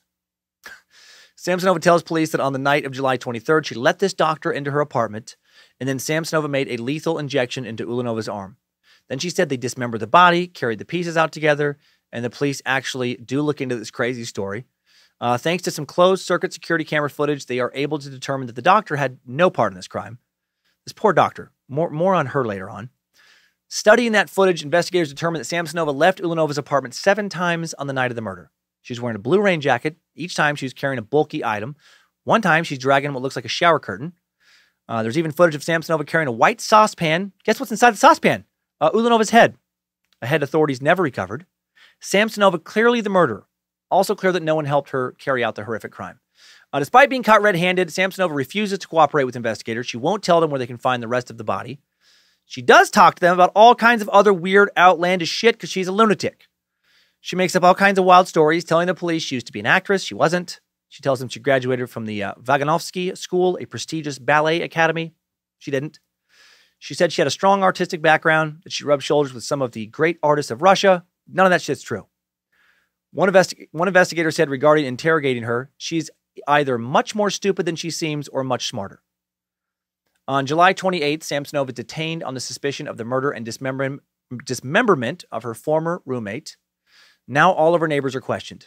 Uh, a woman who'd been friends with Ulanova for 43 years described what happened to her when she tried to check on Ulanova. First, she said she tried to call a friend. When she could never get a hold of her, she visited the apartment. She found Samsonova, asked where Valentina Ulanova was. Samsonova, not surprisingly, spun a wild tale, saying that she got up in the middle of the night, went to the kitchen for a cup of tea, saw Valentina lying on the floor. You didn't call an ambulance? The friend asked. I was afraid, Samsonova answered. And then the friend said, Why didn't you contact us? We would have come running. The friend was especially worried by the fact that Samsonova asked her not to tell the police about the disappearance of Ulanova. The reason for this was that Samsonova really wanted to keep living in that apartment. She said she just liked that apartment. She just lamented, Can't I live here? It feels so good here. So calm, so quiet.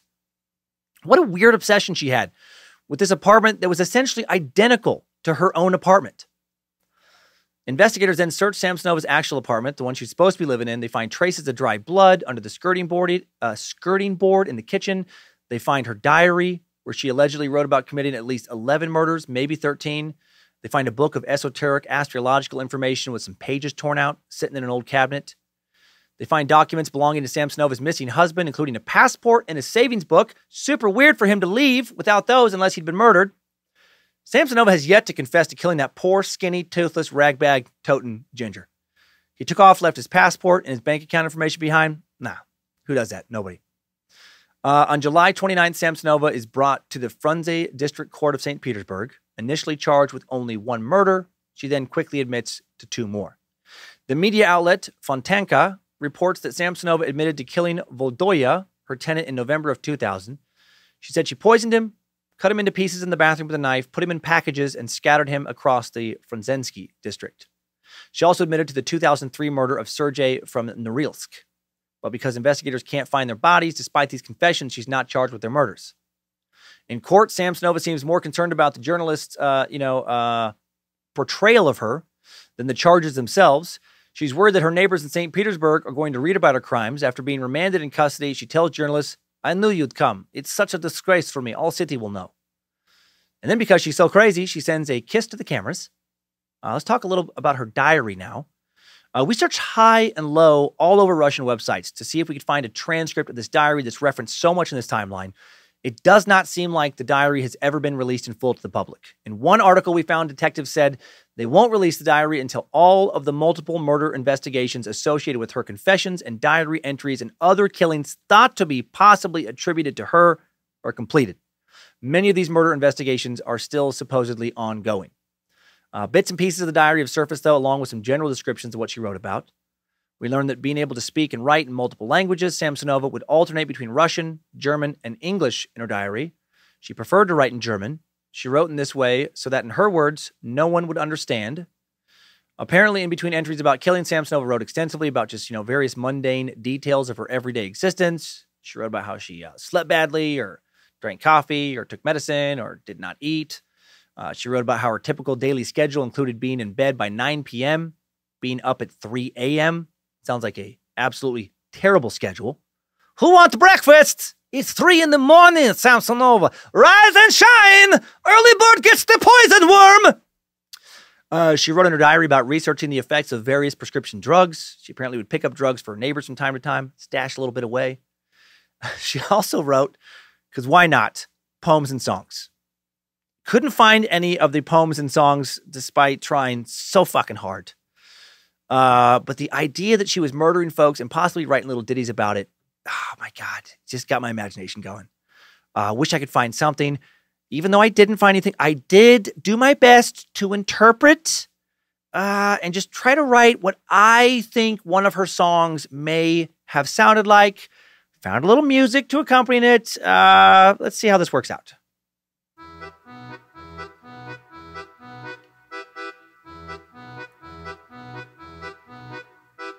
I know like when roommate nag me to make dishes clean. That good way to get head ate. Do not make this witch get mean. Sometimes I miss Ginger son selling vodka from our home. Toothless moron, pretty fun, but then he go for Rome. I kill him. I kill my ginger husband son. I kill him. I kill my toothless husband's son. This old witch hag make him take dirt nap with his precious rag bag. I kill him. I don't, I don't know. Something like that. And if you're thinking, wait, that doesn't sound like a very good song. Listen, she wasn't fucking dropping hits, okay? I was, I was trying to be accurate. Anyway, that was fun for me. I hope it was fun for you. Uh, thanks to all these unusual details, investigators were especially intrigued by this atypical case. Uh, the head of the Violent Crimes Department of the Main Directorate of the Ministry of Internal Affairs volunteered to spend time with Samsonova. He started doing research into the occult so he could hopefully understand all the crazy shit she was talking about. He studied up on esoteric and astrological literature. He was quoted in the Russian press as saying, I sat down with Babushka on the same wavelength. Okay. He got so into all this that his colleagues started to worry he was spending too much time with her and too much time researching occult beliefs. Do not fall under one of her witch spells. Like they were legitimately worried that she was, you know, getting into his head. Uh, through his conversations with her, he would uh, uh, get her to verbally admit to a total of 11 killings, but only in general terms. Uh, the public, especially in St. Petersburg, became obsessed with her case. The legend of Babushka Yaga is born. The way she killed was so witch like, you know, with the poisonings, uh, cooking up the body parts. Pages from a book of spells found on one of her victims' remains. She looked like some old drawings of Baba Yaga. A journalist wrote sensational stories not entirely supported by facts about her dark deeds. They wrote articles about her being a witch, about her sacrificing victims in occult rituals to stoke public interest in her story, to sell more papers, you know, get more website clicks. As uh, as they do. On July 30th, 2015, 68-year-old Samsonova is officially charged for the killing of her former friend. Initially, just charged with this one crime. Uh, investigators emphasize that a month is going to be allotted for her psychiatric examination the investigative committee also notes that there was currently no information about other crimes that the woman could have committed despite wide reporting to the contrary. Interesting. Uh, a lot of uh, back and forth details uh, from investigators about, like, yes, she's suspecting a lot of murders. No, it's just the one. Is all over the place. The prosecution pointed out that uh, after the murder, Samsonova attempted to hide the evidence, meaning she knew what she had done, uh, knew that it was wrong, therefore not criminally insane. Uh, they said she was a flight risk because she didn't have any permanent social ties in St. Petersburg, as in she didn't have family there. Uh, the Granny Ripper's lawyer argued that her client did not intend to hide from the investigation. They argued that she had lived in St. Petersburg for many years. It's where everyone she had a social relationship of any kind also lived. Where would she go? They argued that she was clearly insane, should be given treatment, and not charged with a crime that would put her in a prison cell. The judge spoke to Samsonova directly about her fate, asking her, I am asked to arrest you. What do you think? And Samsonova replied, You decide, Your Honor. After all, I am guilty and I deserve a punishment. Then, when Samsonova heard the judge order her arrest, she literally began smiling and clapping her hands. She said it had been hard to live with her past, that she felt relieved to have finally been caught. At this point, she said, after thinking about, about it a lot, she wanted to spend the rest of her life in prison. But did she mean all of this? Directly after these statements, she said a whole bunch of crazy shit. Trying to explain why she killed, she told the court that she had been tormented for many years by a maniac neighbor who lived in an apartment on the floor above her. She said, I thought about this murder 77 times. I want to go to jail. I killed because the neighbor tortured me for a long time. Then she said of this upstairs neighbor, she raped me. She is a doctor. This is the doctor stuff I was talking about earlier. She watered my hair. She gave me bruises and cuts and broke my knees. There are thousands of witnesses to this. This was her great joy and type of sweetness. It's like a maniac Chikatilo. They feel pleasure from it. This is superhuman dexterity and bestial instinct. No one can repeat what she is doing. I don't know how much of that is just the translation and how much of that is just what she actually said. While being escorted away from the court, she apparently kept babbling about this neighbor, at one point shouting something uh, like, It's all a maniac. Didn't take long to determine this alleged maniac, the doctor she'd accused of helping her with the murder of her roommate earlier, uh, was not even in St. Petersburg at the time of the you know murder she was charged with. Samsonova then later admitted that she made all, made all that up about the doctor. Uh, why? Because she hated her. She said she gave this testimony out of personal hostility. How ha- happy must uh, that retired doctor have been to, to know that that murderous nut was now behind bars? Uh, the media, after her official arrest, now began to speculate that she uh, must have been killing for 15 years, starting with her mysteriously absent husband way back in 2000. They reported that, and I have no idea where they got this information that Sam- Samsonova had put her husband to sleep with a large dose of sleeping pills. They said that she then cut his body into pieces, took it outside, buried it in the yard. They even stated that the remains had already been dug up and sent to the morgue, but that was not true. The State Investigative Directorate of the Investigative Committee of the Russian Federation in St. Petersburg, these fucking titles in Russia kill me. Just the just the most drab, soulless shit. Uh, where do you work? The State Investigative Directorate of the Investigative Committee of the Russian Federation in St. Petersburg. Jesus Christ. Uh, the, the spokesman for this committee, guy named Sergei Kapitanov informed the press that this information was false. He said the investigative committee denies this information. There are no dug up remains sent for examination. Tamara Samsonova has only been charged with committing one crime. Uh, shortly after her arrest, speaking to how popular this case was, Samsonova goes viral on the Russian equivalent of Facebook, uh, a very popular website I didn't know about before this suck, vk.com. Someone created a profile on her behalf. They uploaded photos of Samsonova, pictures from her trial. More fake profiles soon sprung up then more. Most of them clearly created as jokes. One profile had Samsonova requesting donations to, quote, support domestic granny maniacs.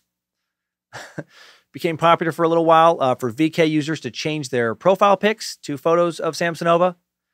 I feel like whoever was doing that would, would probably love this podcast.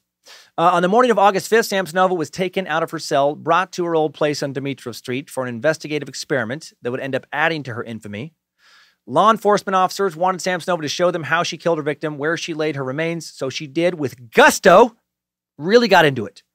Police brought in a dummy, uh, and on it she demonstrated with, with a bunch of zeal and a big crazy smile on her face how she dismembered Ulanova. She described how she couldn't get through the hip bones, how they were too heavy for her to carry far, so she dumped them in a neighbor's backyard. also explained how she disposed of the trash bags throughout the neighborhood. Still wouldn't reveal where Ulanova's head was, though. I don't know uh, why. Maybe she uh, didn't, didn't want them to find bite marks on it, or maybe she thought if they found her head, it would uh, diminish her witch powers or something. On August 31st, 2015, Samsonova transferred to a special psychiatric clinic to be examined further.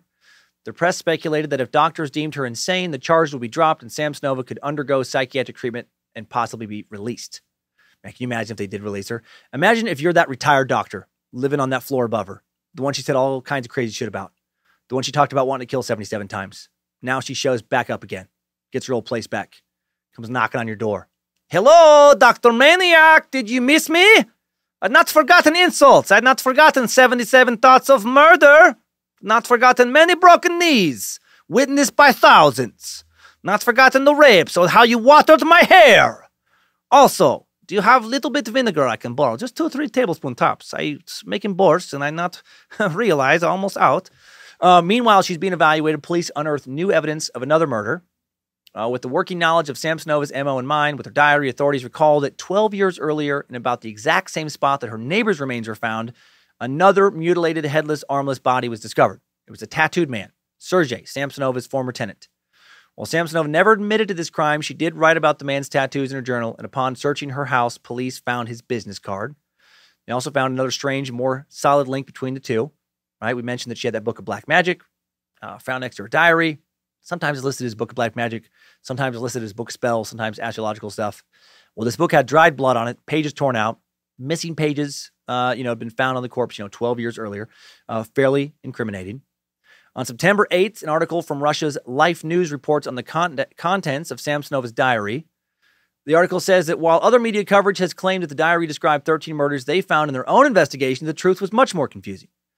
The diary, which the report had been kept inside a cookbook for several years, was indeed in German, but according to their findings, the author of the notes does not know the language of uh, Goethe. The vocabulary is poor, mistakes are found in every phrase. They printed examples like the following passage I slept very little today, bad mood, it's all very bad, I drank coffee again. In addition to household items, Samsonova carefully recorded names, phone numbers, addresses, useful contacts. She wrote down all her expenses to the penny, excuse me, collected tongue twisters, beauty recipes, even conspiracies. I wish I knew what conspiracy she was into. Wonder if she was a hollow earther. I feel like there's a good chance. Probably believed in the supposed uh, Atlantean sorcerer battles Madame Blavatsky used to write about. Among the notes uh, in her diary, there were several essays similar to prayers, spells, quotes from the work of famous poets. In one passage, she wrote, I leave the door, stand in the middle of the yard. Nicola the Pleasant is standing with me. Close the house with a bolt lock. Who goes We'll pass, who goes We'll pass. The burglar enters the yard. He won't get there. His legs will grow stiff, his eyes will darken. Amen. Believing in the best, you increase its likelihood. Books don't really teach anything new. Books just help you see what's already inside you. This is enlightenment. Okay, you know, so she's, you know, struggling mentally. Uh, also, around this time, one of the people Samsonova claimed to have killed in her diary, another one of her tenants, discovered alive and well by investigators. So, this, of course, is confusing. Throws some doubt into the validity of some of her other confessions. The media was now saying she killed dozens or hundreds of people, but did she, or did most of the murders only happen in her mind? So strange. She clearly did kill a man she did not write about in her diary, the tattoo guy. She almost certainly killed her husband, who she also did not confess to killing, but then she did not kill someone she did write about killing. So much mystery around uh, the case of Babushka Yaga. On November 25th or 26, 2015, according to different sources, the Frunzensky District Court decides to extend Samsonova's psychiatric examination for another month. After more testing, it's determined that she is a danger to society and herself. Yeah, you think? Uh, she's transferred from the psychiatric clinic to another specialized incarceration facility where she's ordered to remain until the end of the investigation. Unfortunately, the results of her psychological examination are kept secret. Samsonova's defense appeals the decision to put her in a specialized institution, citing her age.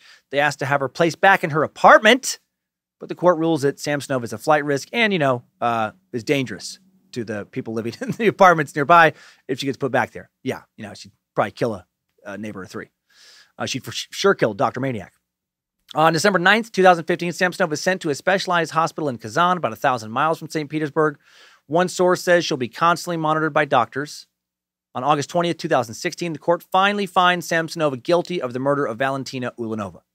The official verdict is that she killed one person for sure. Not clear uh, how long she was sentenced to remain behind bars. She was then placed in a psychiatric, excuse me, psychiatric treatment facility. Uh, on August 22nd, uh, just a few days later, 2016, the court reveals that additional murders Samsonova may have committed are still being investigated. Then on November 8th, it's discovered that Samsonova has been uh, calling a psychological helpline on a regular basis over the past 12 years. She apparently uh, usually discussed everyday issues, including which other tenants were riling her up. She consistently felt paranoid, persecuted, but for some reason, she was never prescribed treatment.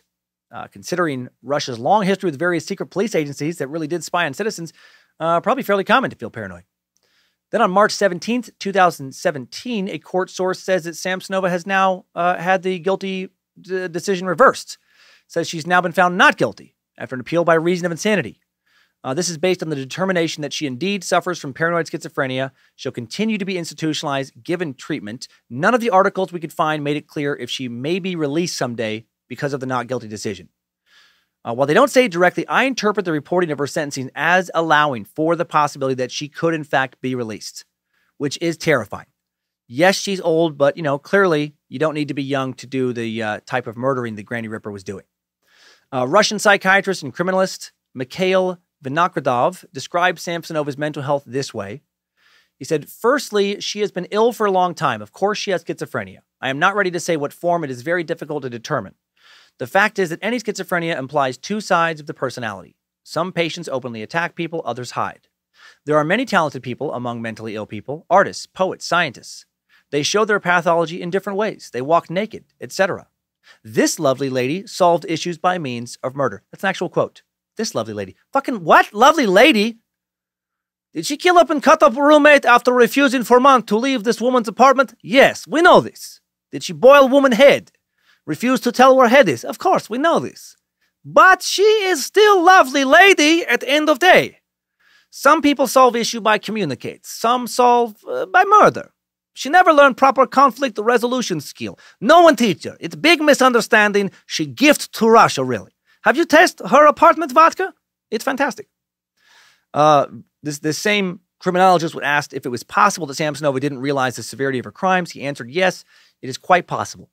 Considering that there is evidence of her passion for the occult, she could only consider herself to be a kind of instrument of retribution, who fulfilled someone's will, including to save the world in this way, destroy evil, etc. So she didn't realize what she was doing, uh, you guys. She didn't realize it was wrong. She was just a witch doing some witch shit. She was trying to live that best, you know, witch life. Uh, a little over a year later, the 71 year old Samsonova was charged with yet another crime. July 26, 2018, the Department of Bailiffs in St. Petersburg opens a case against her. You're going to love this for not paying her rent. Her debt amounted to 190 bucks or so. The missing rent was uh, from a, a, time after she'd been arrested and sent to a psychiatric facility.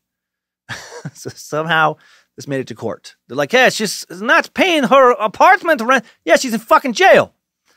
Uh, she was found not liable since, you know, she was incarcerated.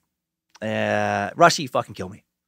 I so badly want to visit Russia now, more than ever. I want to spend some time in that beautiful and insane country. Uh, finally, based on a few hard to totally understand Russian sources, it seems that there, uh, yeah, still are open investigations on anywhere from 10 to 14 additional murders she may have been involved in, and that will take us out of this week's Time Suck timeline.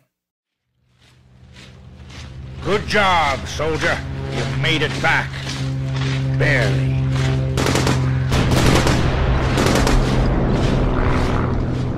The Granny Ripper, Babushka Yaga, Psycho, aka Tamara Samsonova, apartment vodka distiller, jean and sweater slanger, real life witch. Such a unique case. But not the only scary female serial killer out there. While over uh, 90% of serial killers are men, there's actually well over 20 other uh, uh, older women that could fall into the same category as Samsonova that we know of. Uh, we're going to preview some of the worst female serial killers out there that we haven't talked about on Time Suck before. Uh, some of them also killing like uh, Baba Yaga, or not Baba Yaga, Babushka Yaga in their senior years. Might have to suck some of these uh, ladies down the road. Uh, before I launch into the first summary, I do have one last sponsor break. Sorry about that. I know we don't always uh, have them at the end of the show. Uh, Time Suck is brought to you today by GrigoryGrabovoy.com's annual Anything You Want for $1,500 sale. Hello, I Grigory Grabovoy 100th level Russian sorcerer. I make you offer of lifetime. You miss dead pets? I bring back $1,500. Maybe grandpa passed away before you're ready. I bring back $1,500. You have AIDS, cancer, herpes, one leg shorter than other, too many mole on face? It's no problem. I fix $1,500. Maybe you want to take vacation to lost city of Atlantis. I send you $1,500. I Russia's most powerful sorcerer.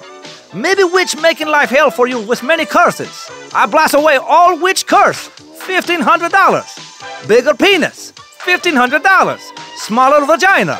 $1,500. You know like being paralyzed to wheelchair? $1,500 I have you running to give me more money for more cool spells.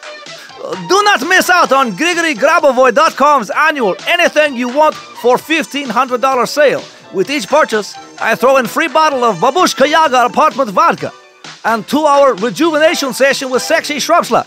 Do not delay. Make me, Grigory Grabovoy, your personal sorcerer today. I gotta say, uh, out of all the deals we've offered, I think that might be the best one. It, it sounds like you get a lot for fifteen hundred dollars. Uh, okay, now let's meet these uh, five other lady dirtbags.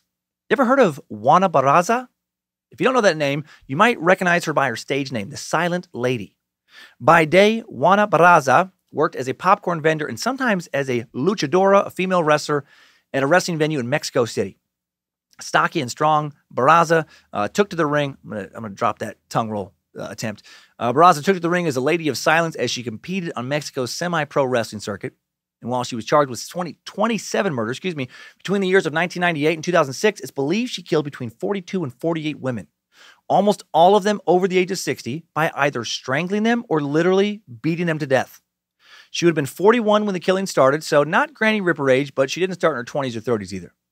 She would get inside the homes of elderly women by pretending to help carry in groceries, or claiming to be sent by the government for medical help. Once inside, she would pick a weapon, like a set of stockings or a telephone cord, and strangle them or just straight up beat the fuck out of them. Police following the cases had their own theory on who the killer uh, was and what was driving him. According to criminologists, they strongly believe the killer was a man with a confused sexual identity who had been abused as a child by an elderly relative. The killings were his way of channeling his resentment towards innocent victims who stood in for the person who had abused him. Eyewitnesses or eyewitness descriptions of a possible suspect reinforced this idea. Let Barraza keep killing undetected. According to the witnesses, the suspect had the stocky build of a man but wore women's clothing. As a result, the city police began rounding up known transvestite prostitutes for questioning. A major breakthrough in the case finally occurred on January 25, 2006, when a suspect was arrested fleeing from the home of the serial killer's latest victim, Ana Maria de los Reyes Alfaro. And that suspect was Juana Barraza, then a 48 year old woman. She would be sentenced to 759 years in prison for the 27 murders she was charged with. Should we suck her someday? Her story is so fucking crazy. Wrestler and popcorn vendor by day, brutal murderer by night. Super fucked up, but also a great excuse to have a suck full of insane wrestling matches. Sunday, Sunday, Sunday. The silent lady is ready to butter up some popcorn and bust some fucking heads. Something like that, you know? Uh, Barraza associated her elderly victims with her mother and believed that she was helping society by killing them. She was uh, really killing her mother over and over again, an alcoholic mother who she accused of pimping her out to men when she was just a little kid in exchange for beer. Yeah. Uh, the next old lady would not kill random citizens. She would kill her husbands. Uh, Melissa Ann Shepard, aka the Internet Black Widow, born in Burnt Church, New Brunswick in 1935. Millie moved to Ontario with her family when she was a teenager, and in 1955, she met and married a factory worker, Russell Shepard, and they had two kids. And between 1970 and 1985, Melissa was convicted on a string of charges of fraud, forgery, and impersonation in Toronto and in Georgetown, Prince Edward Island. Wasn't until she turned 55 that she began committing her most serious and violent crimes. In 1992, Shepard was convicted of manslaughter over the murder of her 44 year old second husband, Gordon Stewart. Ran him over twice with a car. He had tranquilizers in his system at the time. She told police he had raped her and that she ran over him while trying to escape. And this is, in all likelihood, bullshit. Uh, trying to escape from a man passed out on tranquilizers seems fishy. She was sentenced to six years in prison, released early on good behavior, serving just two years. Fucking two years for running over a dude on purpose and killing him. Uh, never any proof that he did rape her, by the way. Just the word of a murderer, just the word of someone who had been convicted numerous times on fraud, forgery, and impersonation charges over the years. A known liar, a convicted liar. Awesome. Good job, court system. And then she'd kill again. Following her release, she toured the country. She had the fucking balls to give speeches on battered woman syndrome and killing in self defense. She's so full of shit. In 2000, Shepard married her third husband, American Robert Frederick, uh, shortly after meeting him online through a Christian dating site. Fuck yeah, she's Christian now. She seems like, you know, probably one of Jesus' favorites. Uh, her new husband died 14 months later, leaving her, and that was a, a, slam on her. Not on Christianity, by the way, if I didn't make that clear. Uh, her new husband died 14 months later, leaving her with tens of thousands of dollars in assets. She was never charged with the crime related to his death, but her this guy's sons later won back uh, 15 grand, and they do think she killed their dad. I think she did too. Uh, then in 2005, she settled in with another man she'd met online in Florida. And right away, what do you know it? He started getting sick a lot. Weird. The man's son alerted police after his father was hospitalized half a dozen times. Uh, he noticed unusual activity in his father's bank account. Hospital tests showed the man tested positive for tranquilizers. Uh, but police could not prove that she poisoned him. They did charge Shepard with grand theft, forgery, and using a forged document, to which she pled guilty. She was sentenced to five more years in prison. Then in 2012, two years after getting back out of jail, the now 77 year old woman is charged with the attempted murder of her fourth husband, Fred Weeks. She can't fucking help herself. She's addicted to doing horrible shit. After pleading guilty to lesser charges, she's sentenced to three and a half years in prison. How does she get these tiny sentences all the time? And, and, and incredibly, she is currently living free. Uh, she got arrested yet again for using the internet on a computer in a Halifax library in 2016. Under the conditions of her parole, she's supposed to never get on the internet and try and find more dudes to kill, which makes sense. Uh, the 85 year old now has a legal obligation to report any and all personal relationships to authorities. And she could be killing some poor Canadian grandpa or great grandpa right now. I just picture her, her using like a walker to shuffle down the hallway of a nursery home. She's got some poison stuffed in a pocket, waiting to sprinkle it into some poor octogenarian's pudding.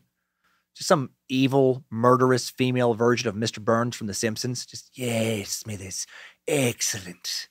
Who shall get Mama's spicy pudding today? Uh, this next senior killer earned the gruesome nickname the Death House Landlady.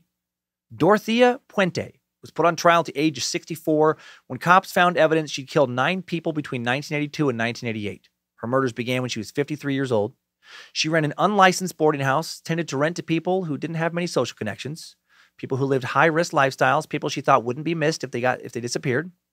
Police found nine bodies buried beneath her house. Some were in an almost mummified state, wrapped tight with cloths, bed sheets, duct tape, one missing its head, hands, and feet.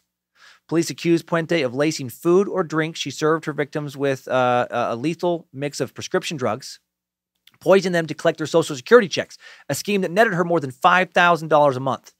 In 1993, after what was then the longest del- deliberation in a murder case in California history, 24 days, the jury convicted her of three of the killings. She was sentenced to life in prison without the possibility of parole. She'll, she would die in prison in 2011 at the age of 82. Not surprisingly, she also had a fucked up childhood. Her mom was a prostitute, her dad was a drunk. Uh, he died when she was eight, and her mom died the following year. She was then sent to a boarding school where she was sexually abused. Uh, her former boarding house, located at 1426 F Street in Sacramento, now rumored to be super haunted, has been featured on an episode of Ghost Adventures. Man, if haunting is uh, can be real, and it, as those of you who listen to Scared to Death know, I'm definitely open, a skeptic, but open to that possibility. There can be some fucking creepy spirits in that house. Uh, next on this list, a geriatric killer duo. This is maybe the weirdest to me, not the most gory or grotesque, but just odd partnership here. 2008, Helen Golay, a 78 year old living in Santa Monica, California, and Olga uh, Rutterschmidt, 75 year old living in Hollywood, showbiz, uh, were convicted of the murders of two vagrants. They were both sentenced to consecutive life sentences or life terms. Their killings would become known as the Black Widow murders. On two separate occasions, they took a homeless man, first Paul Vados, then Kenneth McDavid, took them under their wings, housed them, fed these guys, looked after them for uh, two years each, then killed these guys with their cars, hit and run style. They took out millions and millions of dollars in dozens of separate life insurance policies on each dude. After Vado's death, Golay and Rutterschmidt received benefits from eight different life insurance policies that have been taken out on him. After McDavid's death, Golay received a total of $1.5 million in insurance proceeds. Rutterschmidt, a total of uh, just under $700,000. And then the two women botched a third attempt. They're still trying to do that. They don't need the fucking money. They're very old. They could just enjoy being, I don't know, old evil ladies, but clearly they like to kill. Uh, the would be victim, Jimmy Covington, was asked to apply for an $800,000 life insurance policy. The women were dogging him about it, aggressively insisting he do it. He started to worry. They wanted to kill him for the money. He fled, told police. The two women were brought in and they folded under questioning, and the gig was up. Now 89 and 87, respectively, they're both still alive, serving their sentences in uh, Central California's women's facility in uh, Chowchilla. One more. This next lady killed upwards of 30 people in the 1800s. Jane Toppan was a classic angel of death, the nickname given to nurses and doctors who purposely kill their patients. She was born Honora Kelly around 1857 in Boston, the youngest of four girls in a poor Irish immigrant family. Her mother died of tuberculosis when she was a year old. Her father, Peter Kelly, a tailor, lost his mind, was severely mentally ill, earned the nickname of Kelly the Crack, as in Kelly the Crackpot. He uh, was so mentally ill, he apparently sewed his fucking eyelids shut at one point. Yeah, when your dad does that, that's probably going to fuck a kid up a little bit. Father, Father, are, are you all right? Yes, Jane, I am almost free. Sometimes you must go blind to truly see. The darkness, I can feel it. I can taste it, my dear. The darkness is pure. Come near. Let me sew you shut so we can see together. You know, just you know, something like that. I picture him doing. Uh, 1863, Kelly, in a brief moment of sanity, took six-year-old Honora her eight year old sister Delia, her sister Nellie, age not given, to an orphanage called the Boston Female Asylum in the city's South End. Sounds like a super warm and fun and cozy place. Uh, Delia would soon go into prostitution. Nellie would end up in an insane asylum, so I'm guessing it probably wasn't the best place to grow up. The orphanage placed girls in respectable families when they turned 10, and by placed, I mean sold them into a form of child slavery. Honor became an indentured servant to Mrs. Ann C. Toppan of Lowell, Massachusetts, spent the rest of her childhood doing whatever the fuck Ann told her to do. At the age of 33, Jane trained or started her training as a nurse at Cambridge Hospital in 1887. There, she earned her nickname Jolly Jane. She had a friendly, outgoing personality, but that persona was just an act. Uh, the hospital administration grew concerned over her obsession with autopsies. They had no idea she'd begun to experiment with morphine and atropine on elderly patients. Jane soon took a new job at Massachusetts General Hospital, lost that one when she recklessly gave out opiates. Nevertheless, doctors still continued to recommend her as a private nurse, uh, especially for their wealthy clients. She was still a patient favorite, came across as nothing but warm and friendly. Then in 1901, when she was 44, the family of one of her victims grew suspicious. Police assigned a detail to follow her. Soon she was arrested for murder, and then she confessed to the murder of 31 people. She was quoted as saying that she aspired to have killed more people, helpless people, than any other man or woman who has ever lived. So she was just a, a, a little bit fucked up. Then she told investigators that the killings gave her a sexual thrill. She said that after poisoning her victims, she would climb into bed with them, fondle them, attempt to, quote, see the inner workings of their souls through their eyes. Dear God, that's creepy, as they died. In their final moments, she would hold them close and stare into their eyes. Uh, it appears that she may have inherited some of her dad's mental instability, and she would spend the last 40 years of her life committed to an insane asylum. So, as you can see, while the Granny Ripper's tale is rare, is unique, she's far from o- the only female killer, serial killer we could have chosen uh, to cover. And she's not the only geriatric female killer we could have chosen to cover today.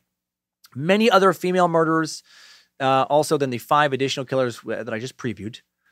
Um, so, you know, for future topics, uh, you know, if you guys want to send in to the Bojangles at timesuckpodcast.com or if you spaces, vote some of these up, show some interest, we can do more female true crime sucks. Uh, Babushka Yaga, let's wrap up with that now. Was she was she a witch casting spells and practicing strange rituals? Was she a, a cannibal like the Baba Yaga of the old stories? Or was she just a confused schizophrenic who wanted a better apartment? Someone who uh, you know just saw human lives as disposable. Was she a little bit of all of that? I don't know. Let's take four looks back and one look into additional info in today's top five takeaways. Time Suck Top 5 Takeaways. Number one, Russia is obsessed with witchcraft and the occult. They have more faith healers than actual doctors. Grigory Grabovoy charging 1500 bucks to bring kids back from the dead. Dude claims to have cured AIDS and found Atlantis. And Anatoly Kashpirovsky healing people watching him on TV through his magical telepathic energy waves. These are the type of people desperate Russians were turning to in the late 80s and 90s. Number two, Tamara Samsonova, the Granny Ripper, not an actual granny. She had no children, let alone grandchildren. The word babushka, which was added to Yaga for another one of her nicknames, means older woman or a grandma. Number three, apartment vodka. When Samsonova wasn't killing, she was selling jeans or sweaters or vodka out of her apartment or maybe working as a, as a blacksmith. Thank you, Russia, for story details like those. Number four, VK.com. I'd never heard of this Russian Facebook site before, but it's one of the most popular websites in the world. Has over 500 million users. Is the most popular website in all of Russia. One of the top 20 most visited websites on Earth, and Samsonova went viral on it in 2015. The Granny Ripper's face became a popular profile pic choice, and numerous fake accounts sprung up, and I love that. It's almost like in the face of something deeply horrific and disgusting, Russians, just like many of us in other countries around the world, find that comedy is a good way to cope. Number five, something new. The Granny Ripper isn't the only Russian murderer to have had a Chikatilo obsession. At least four other mass killers in Russia have admitted to admiring Chikatilo. There were the chessboard killer, Alexander Pichushkin, who set out to beat Chikatilo and kill one person for every square on the chessboard, jailed for life in 2007, uh, convicted of killing 49 people, mainly in Bitsa Park or around Bitsa Park in Moscow, suspected of killing around 60. We covered the chessboard killer back in October of 2018. Uh, Siberian slaughterer Mikhail Popkov, former cop who became known as the werewolf, believed to have killed over 80 people, according to Olga Muskovia, senior prosecutor at the Irkutsk, Irkutsk region of Siberia. Uh, Popkov compared himself to Chikatilo as well. Uh, we covered the werewolf back in April last year. And there are two Russian killers we didn't cover. Penza cannibal Alexander Bychkov even replicated Chikatilo's methods, maniacally stabbing his victims in the same way as his idol. His other idol was Hitler. Dude was not good at picking idols. He was nabbed after killing 11 people by the age of 23. His mother said later, I saw him cutting out stories about Chikatilo from the newspapers and putting them in his scrapbook. Ugh. Caught in 2012, sentenced to life in prison. Lastly, ex detective Sergei the Beast Tkach, convicted by a Ukrainian court in 2008 of 29 murders and 11 attempted murders. Uh, he killed for 25 years from 1980 to 2005. The Russian born monster claims to have killed roughly 200 people, saying his motive was revenge on women and, quote, simple sexual pleasure. He boasted, I'm not a man, I'm a beast. Same as Chikatilo. So if we decide to head back to Russia for more true crime, uh, clearly plenty of dirt bags to choose from. Time Suck Top 5 Takeaways. The Granny Ripper has been sucked. Uh, what an interesting world we live in. Samsonova's murders, uh, to me, were the least part, interesting part of uh, that this episode. Man, sorcerers, people hiring sorcerers in Russia now to protect themselves from witches in 2020. Gosh dang. Uh, I know we didn't have all the details we normally have for a true crime episode, but just the backdrop and just the the overall broad strokes of the story made it worth it to me as far as an entertaining episode. H- hope you agreed. Uh, thank you to the Bad Magic Productions team for for all the help in making time suck. Queen of Bad Magic, Lindsay Cummins, Reverend Dr. Joe Paisley, the script keeper, Zach Flannery, Sophie the Fact Sorceress Evans, Bit Elixir, Logan and Kate Keith, the Art Warlock and Bad Magic Baroness running badmagicmerch.com and our socials. Thanks to all those who've uh, joined the Cult of the Curious private Facebook group. Roughly 23,000 members in there to share some humor and community with, to talk about interesting, oftentimes dark shit with. Uh, huge thanks, as always, to Liz Hernandez and her All Seeing Eyes running the Cult of the Curious Facebook page. Uh, thanks to all the uh, roughly 8,000 wonderful weirdos having fun on Discord. All sorts of mayhem to get involved with over there. And thanks to the Spacers playing the Time Suck trivia on the app, CS Gallagher leading round four with 3,344 points. A Couple weeks left to go to see who uh, brings the next Cowboy Pigeon Trophy home. Next week on Time Suck, we cover yet another cult. Cult, cult, cult. Uh, this will be a cult unlike the cults we've covered before, the NXIVM sex cult. Spelled N X I V M, but pronounced Nexium. Yep, like the brand name of the drug that treats acid reflux. Uh, NXIVM, a cult that operated at Albany, New York, beginning in the mid 90s, lasting until its founder, Keith Raniere, arrested just a few years ago in 2017 following former members going public with stories about how they'd been forced to spend all their money on NXIVM classes, forced to participate in strange rituals, and even sometimes literally branded.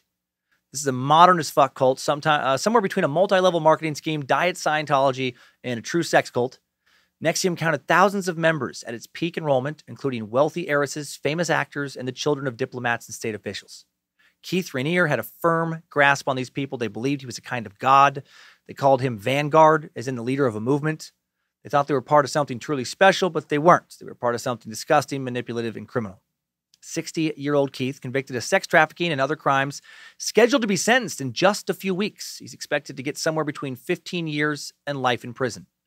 When we explore his cult this next week, we're also going to dig into just how fucked up and toxic certain multi level marketing companies can be, even when they're not weird sex cults. The main takeaway is going to be if someone promises you that they can solve your life in a matter of a few months, they probably can't. If it sounds too good to be true, it generally, truly, really is too good to be true. How did Keith Raniere transition from the head of a pyramid scheme to becoming a cult leader? Find out next week on another strange and entertaining edition of Time Suck. And now let's head on over to this week's Time Sucker updates. Updates? Get your time sucker updates. Starting off with a couple of uh, Hollow Earth updates. B. Arthur, top shelf sack, not the deceased former Golden Girls cast member, writes, Well, Master Sucker, you asked, so here I am. My father is, was, not sure, a Hollow Earth believer who believed that we were visited by UFOs from both inside and outside of Earth. How does the sun set? Well, let me tell you. A shade is cast over it every night. My dumb kid brain once asked, like magic? And he said, No, stupid. it's technology. There's no such thing as magic. The tunnels to get inside used to be visible and accessible, but our wars are scary. So they have been concealed and will maybe be open again when the surface is like Star Trek. He was also a diagnosed schizophrenic, but I'm sure that's unrelated. So there you go. B. Goddamn Arthur, my real name. B. Uh, sorry that your dad suffers from schizophrenia. Uh, holy shit, this message made me laugh. My favorite part is him telling you that you're stupid for thinking that the Hollow Earth set's based on magic. It's technology. Come on, wake up. And yeah, I think him believing all that and being schizophrenic, uh, probably related. Uh, sincerely hope he's getting treatment. Hope that it's helping. And I love your name. Golden Girls, legit one of the best, funniest sitcoms ever produced. The jokes per minute on that show, off the charts. The writing so crisp, so tight. Not joking. I feel like people are going to think I'm joking. Sitcom writers will study Golden Girls. It was that damn good. They still study it today. Uh, go back and watch an episode if you think I'm bullshitting. Fantastic. It holds up. Fantastic show. More Hollow Earth fuckery coming in now from Space Lizard Smalls, leaving his real name out. This message, both funny and, uh, well, kind of depressing. Uh, Small writes, Holy shit, wackadoodles truly do walk among us. I work in a plant breeding lab. I work in a plant breeding lab, excuse me, at a well known university under a well respected genetics professor with three PhDs. This lady knows her stuff, or so I thought. Today, a group of us were doing field work and we got to talking about our favorite podcasts. Of course, I brought up Time Suck, thank you, and some of what you cover and some of the shit stains and events that you have sucked. When I said you occasionally cover some different topics, such as this past week's Hollow Earth episode, the professor lit up. Before I could mention anything else about the show, she immediately went on about how we live on the crust of the earth, but the inside is filled with aliens that control our society's leaders. I was dumbfounded. This professor, who is extremely well respected in her field, who has never shown any signs of wackadoodleness, taught me countless things about genetics, and wrote me a letter of recommendation for my career search, believes we live on a hollow rock filled with aliens who control our society. She continued to say she once visited them after traveling through a lava tube that her husband, a geologist, discovered while they were backpacking across Europe and Africa. This is extra shocking as not only does a well educated professor think she met aliens in the center of the earth, her husband, who is a geology professor, believes the world is hollow and filled with aliens. Maybe worth noting that he is that he retired after he had a severe head injury in a climbing accident years that is worth noting years ago. Most everyone in the field that day tried to tell her as respect as respectfully as possible that she is nuts and needs to have her head checked. Truly goes to show you may never you it truly goes to show you really never know who is a purebred grade A through and through wackadoodle.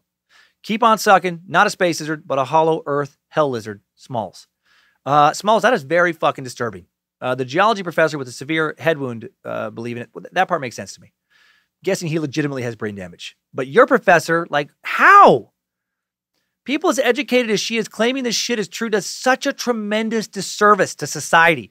Because then wackadoodles can point to her and be like, see, see, the multiple doctorate having genetics professor believes it, so it must be true.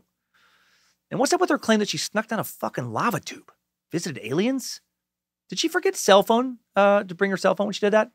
Or to bring a camera if it was in the days before cell phones? Yeah, it'd be nice. It'd be nice to see some pics. You would think if you were going to take the time to crawl down a lava tube to visit aliens in the center of the earth that you might, I don't know, bring a camera. Just maybe. Terrifying. She's still teaching. All right.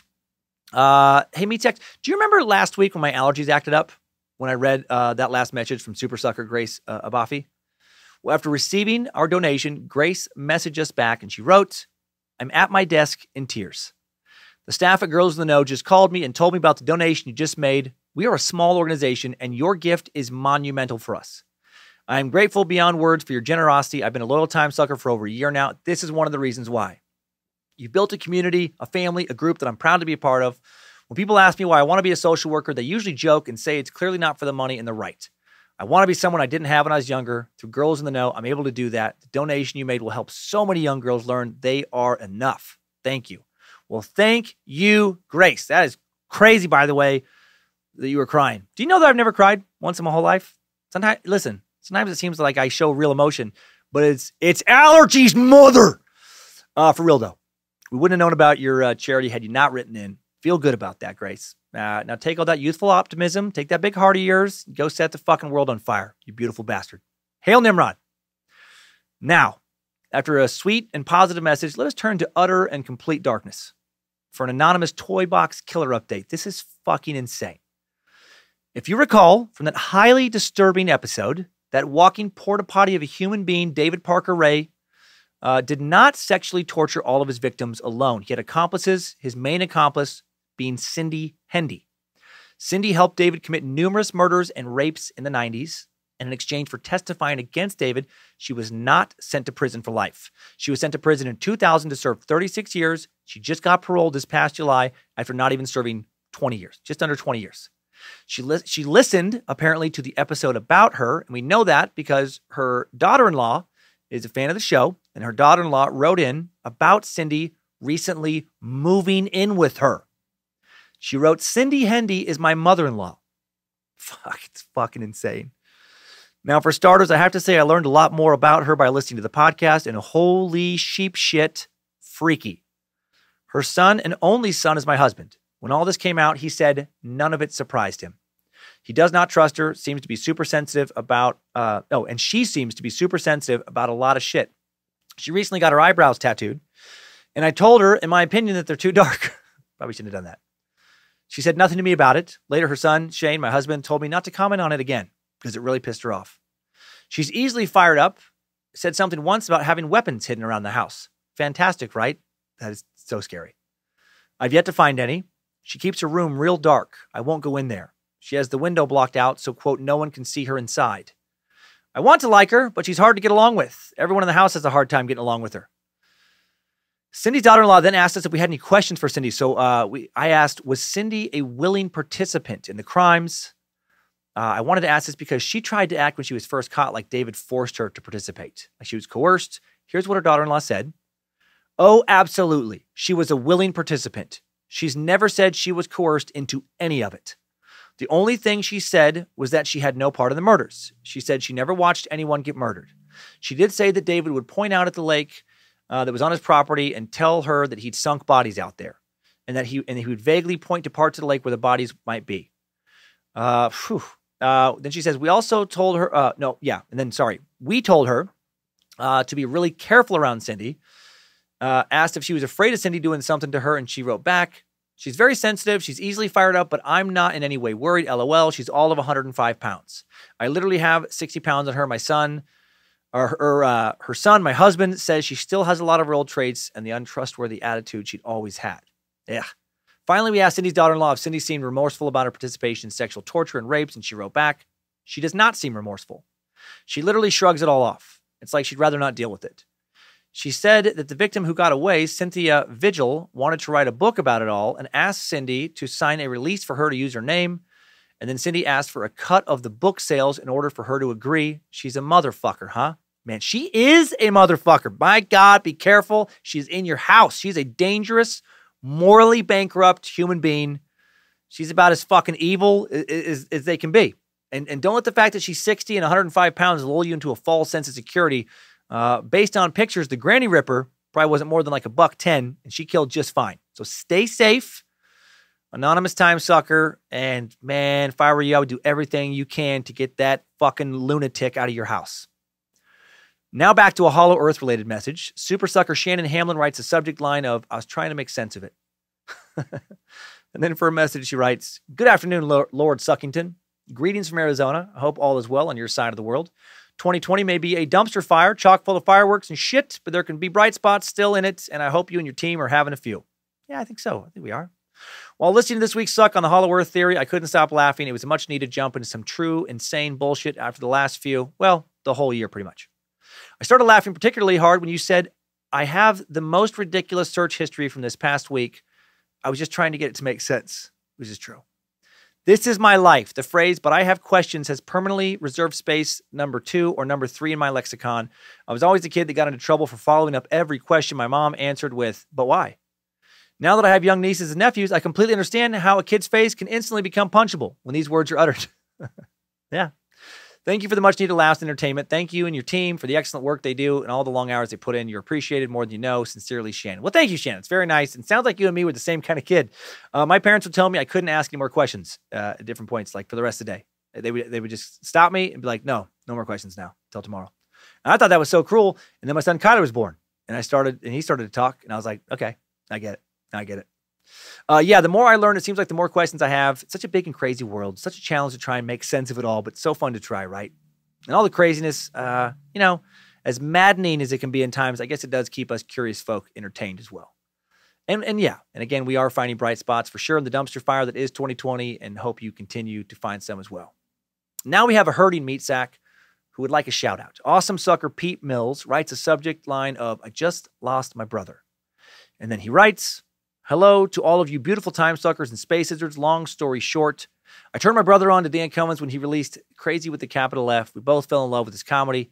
Our family has the same sense of humor, and it felt like Dan was a long lost relative. Sounds like you have a uh, either well, I was gonna say horrible, but like awesome. You have a, you have a family that some people would consider terrible. I would consider awesome.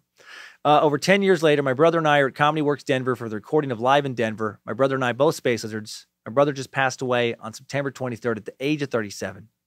He was a great meat sack and taken too soon. If you give a shout out to Amanda Armstrong, that would be fantastic. Amanda is a fellow meat sack and also our cousin, Hail Nimrod, Pete Mills. Pete, uh, I'm so sorry, my man. Can't imagine how heavy your heart must be right now. Sounds like you and your brother shared a lot of memories together, and that's beautiful. And you know, through those memories, he uh, he will live on. And hello, Amanda Armstrong. Uh, be a good cousin. Be a better friend to Pete right now. He seems like seems like the best dude. Uh, hail Nimrod to your entire family, and yeah, hope uh, hope hope the rest of the year does not bring you further tragedies. And now, uh, let's end on some dark comedy to you know to lighten things up a little bit. High as fuck sucker Taylor Ghosts chose the wrong episode to listen to uh, when he was real stoned. Taylor wrote, "Hello, Dan Bojangles, personal good boy treat supplier Cummins. I've been a sucker since the Green River Killer suck. Have seen your stand up shows in Phoenix the past two years. I've been slacking a little bit on the podcast. Decided to catch up, and I listened to the Richard Chase suck. I was also really high when I thought this would be a good idea, and I was high throughout the entire episode. Uh, I soon came to greatly regret this decision. While listening to the episode, I became very imaginative and focused on the descriptions on his character, movements, and his demented facial patterns. I also started really imagining Little Dick tearing opening, uh, tearing open those animals and seeing their fear and pain for a brief moment when they died. I was like this for the whole episode. I almost started literally puking when you were describing how much you mutilated the one victim's body and dissected her. I'm highly terrified. Would not change a thing. Three out of five stars, Taylor Goss. Uh, Taylor, should probably listened to the Disney suck. Should have probably jumped back in on the Disney suck. Focus on evil Roy Disney instead of torturing yourself with the vampire of Sacramento. Uh, your message really cracked me up because I can just picture how I would process that information if I was hearing it for the first time when I was fucking stoned out of my mind. Hope your brain is healed a little bit. Uh, hope all you are, are doing as well as you can be in 2020. Hail Nimrod, everyone. Thank you for writing in. Next time suckers. I needed that. We all did. And that's all for this week, Meat Sacks. More bad, ma- can't even think of my own company. More bad Magic Productions content coming your way the rest of the week. Uh, new Spooks was scared to death Tuesday night. Some escapist laughs on Wednesday with uh, Mr. Reverend Dr. Joe Paisley on Is We Dumb? Uh, please don't poison anyone. Cut up their body, toss someone across the street because you don't want to move out of an apartment you're not supposed to be living in the first place. And, uh, and keep on sucking.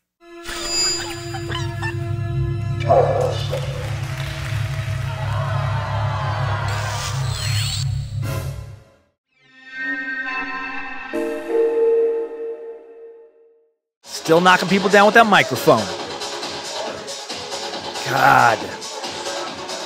I wonder how many places this is happening in Russia right now. Just an auditorium, techno music, and a, and a, and a sorcerer with a microphone bopping people. Oh, this is fantastic. Now he's lining up a family and getting ready to domino those motherfuckers. And why is he doing that? Because Russia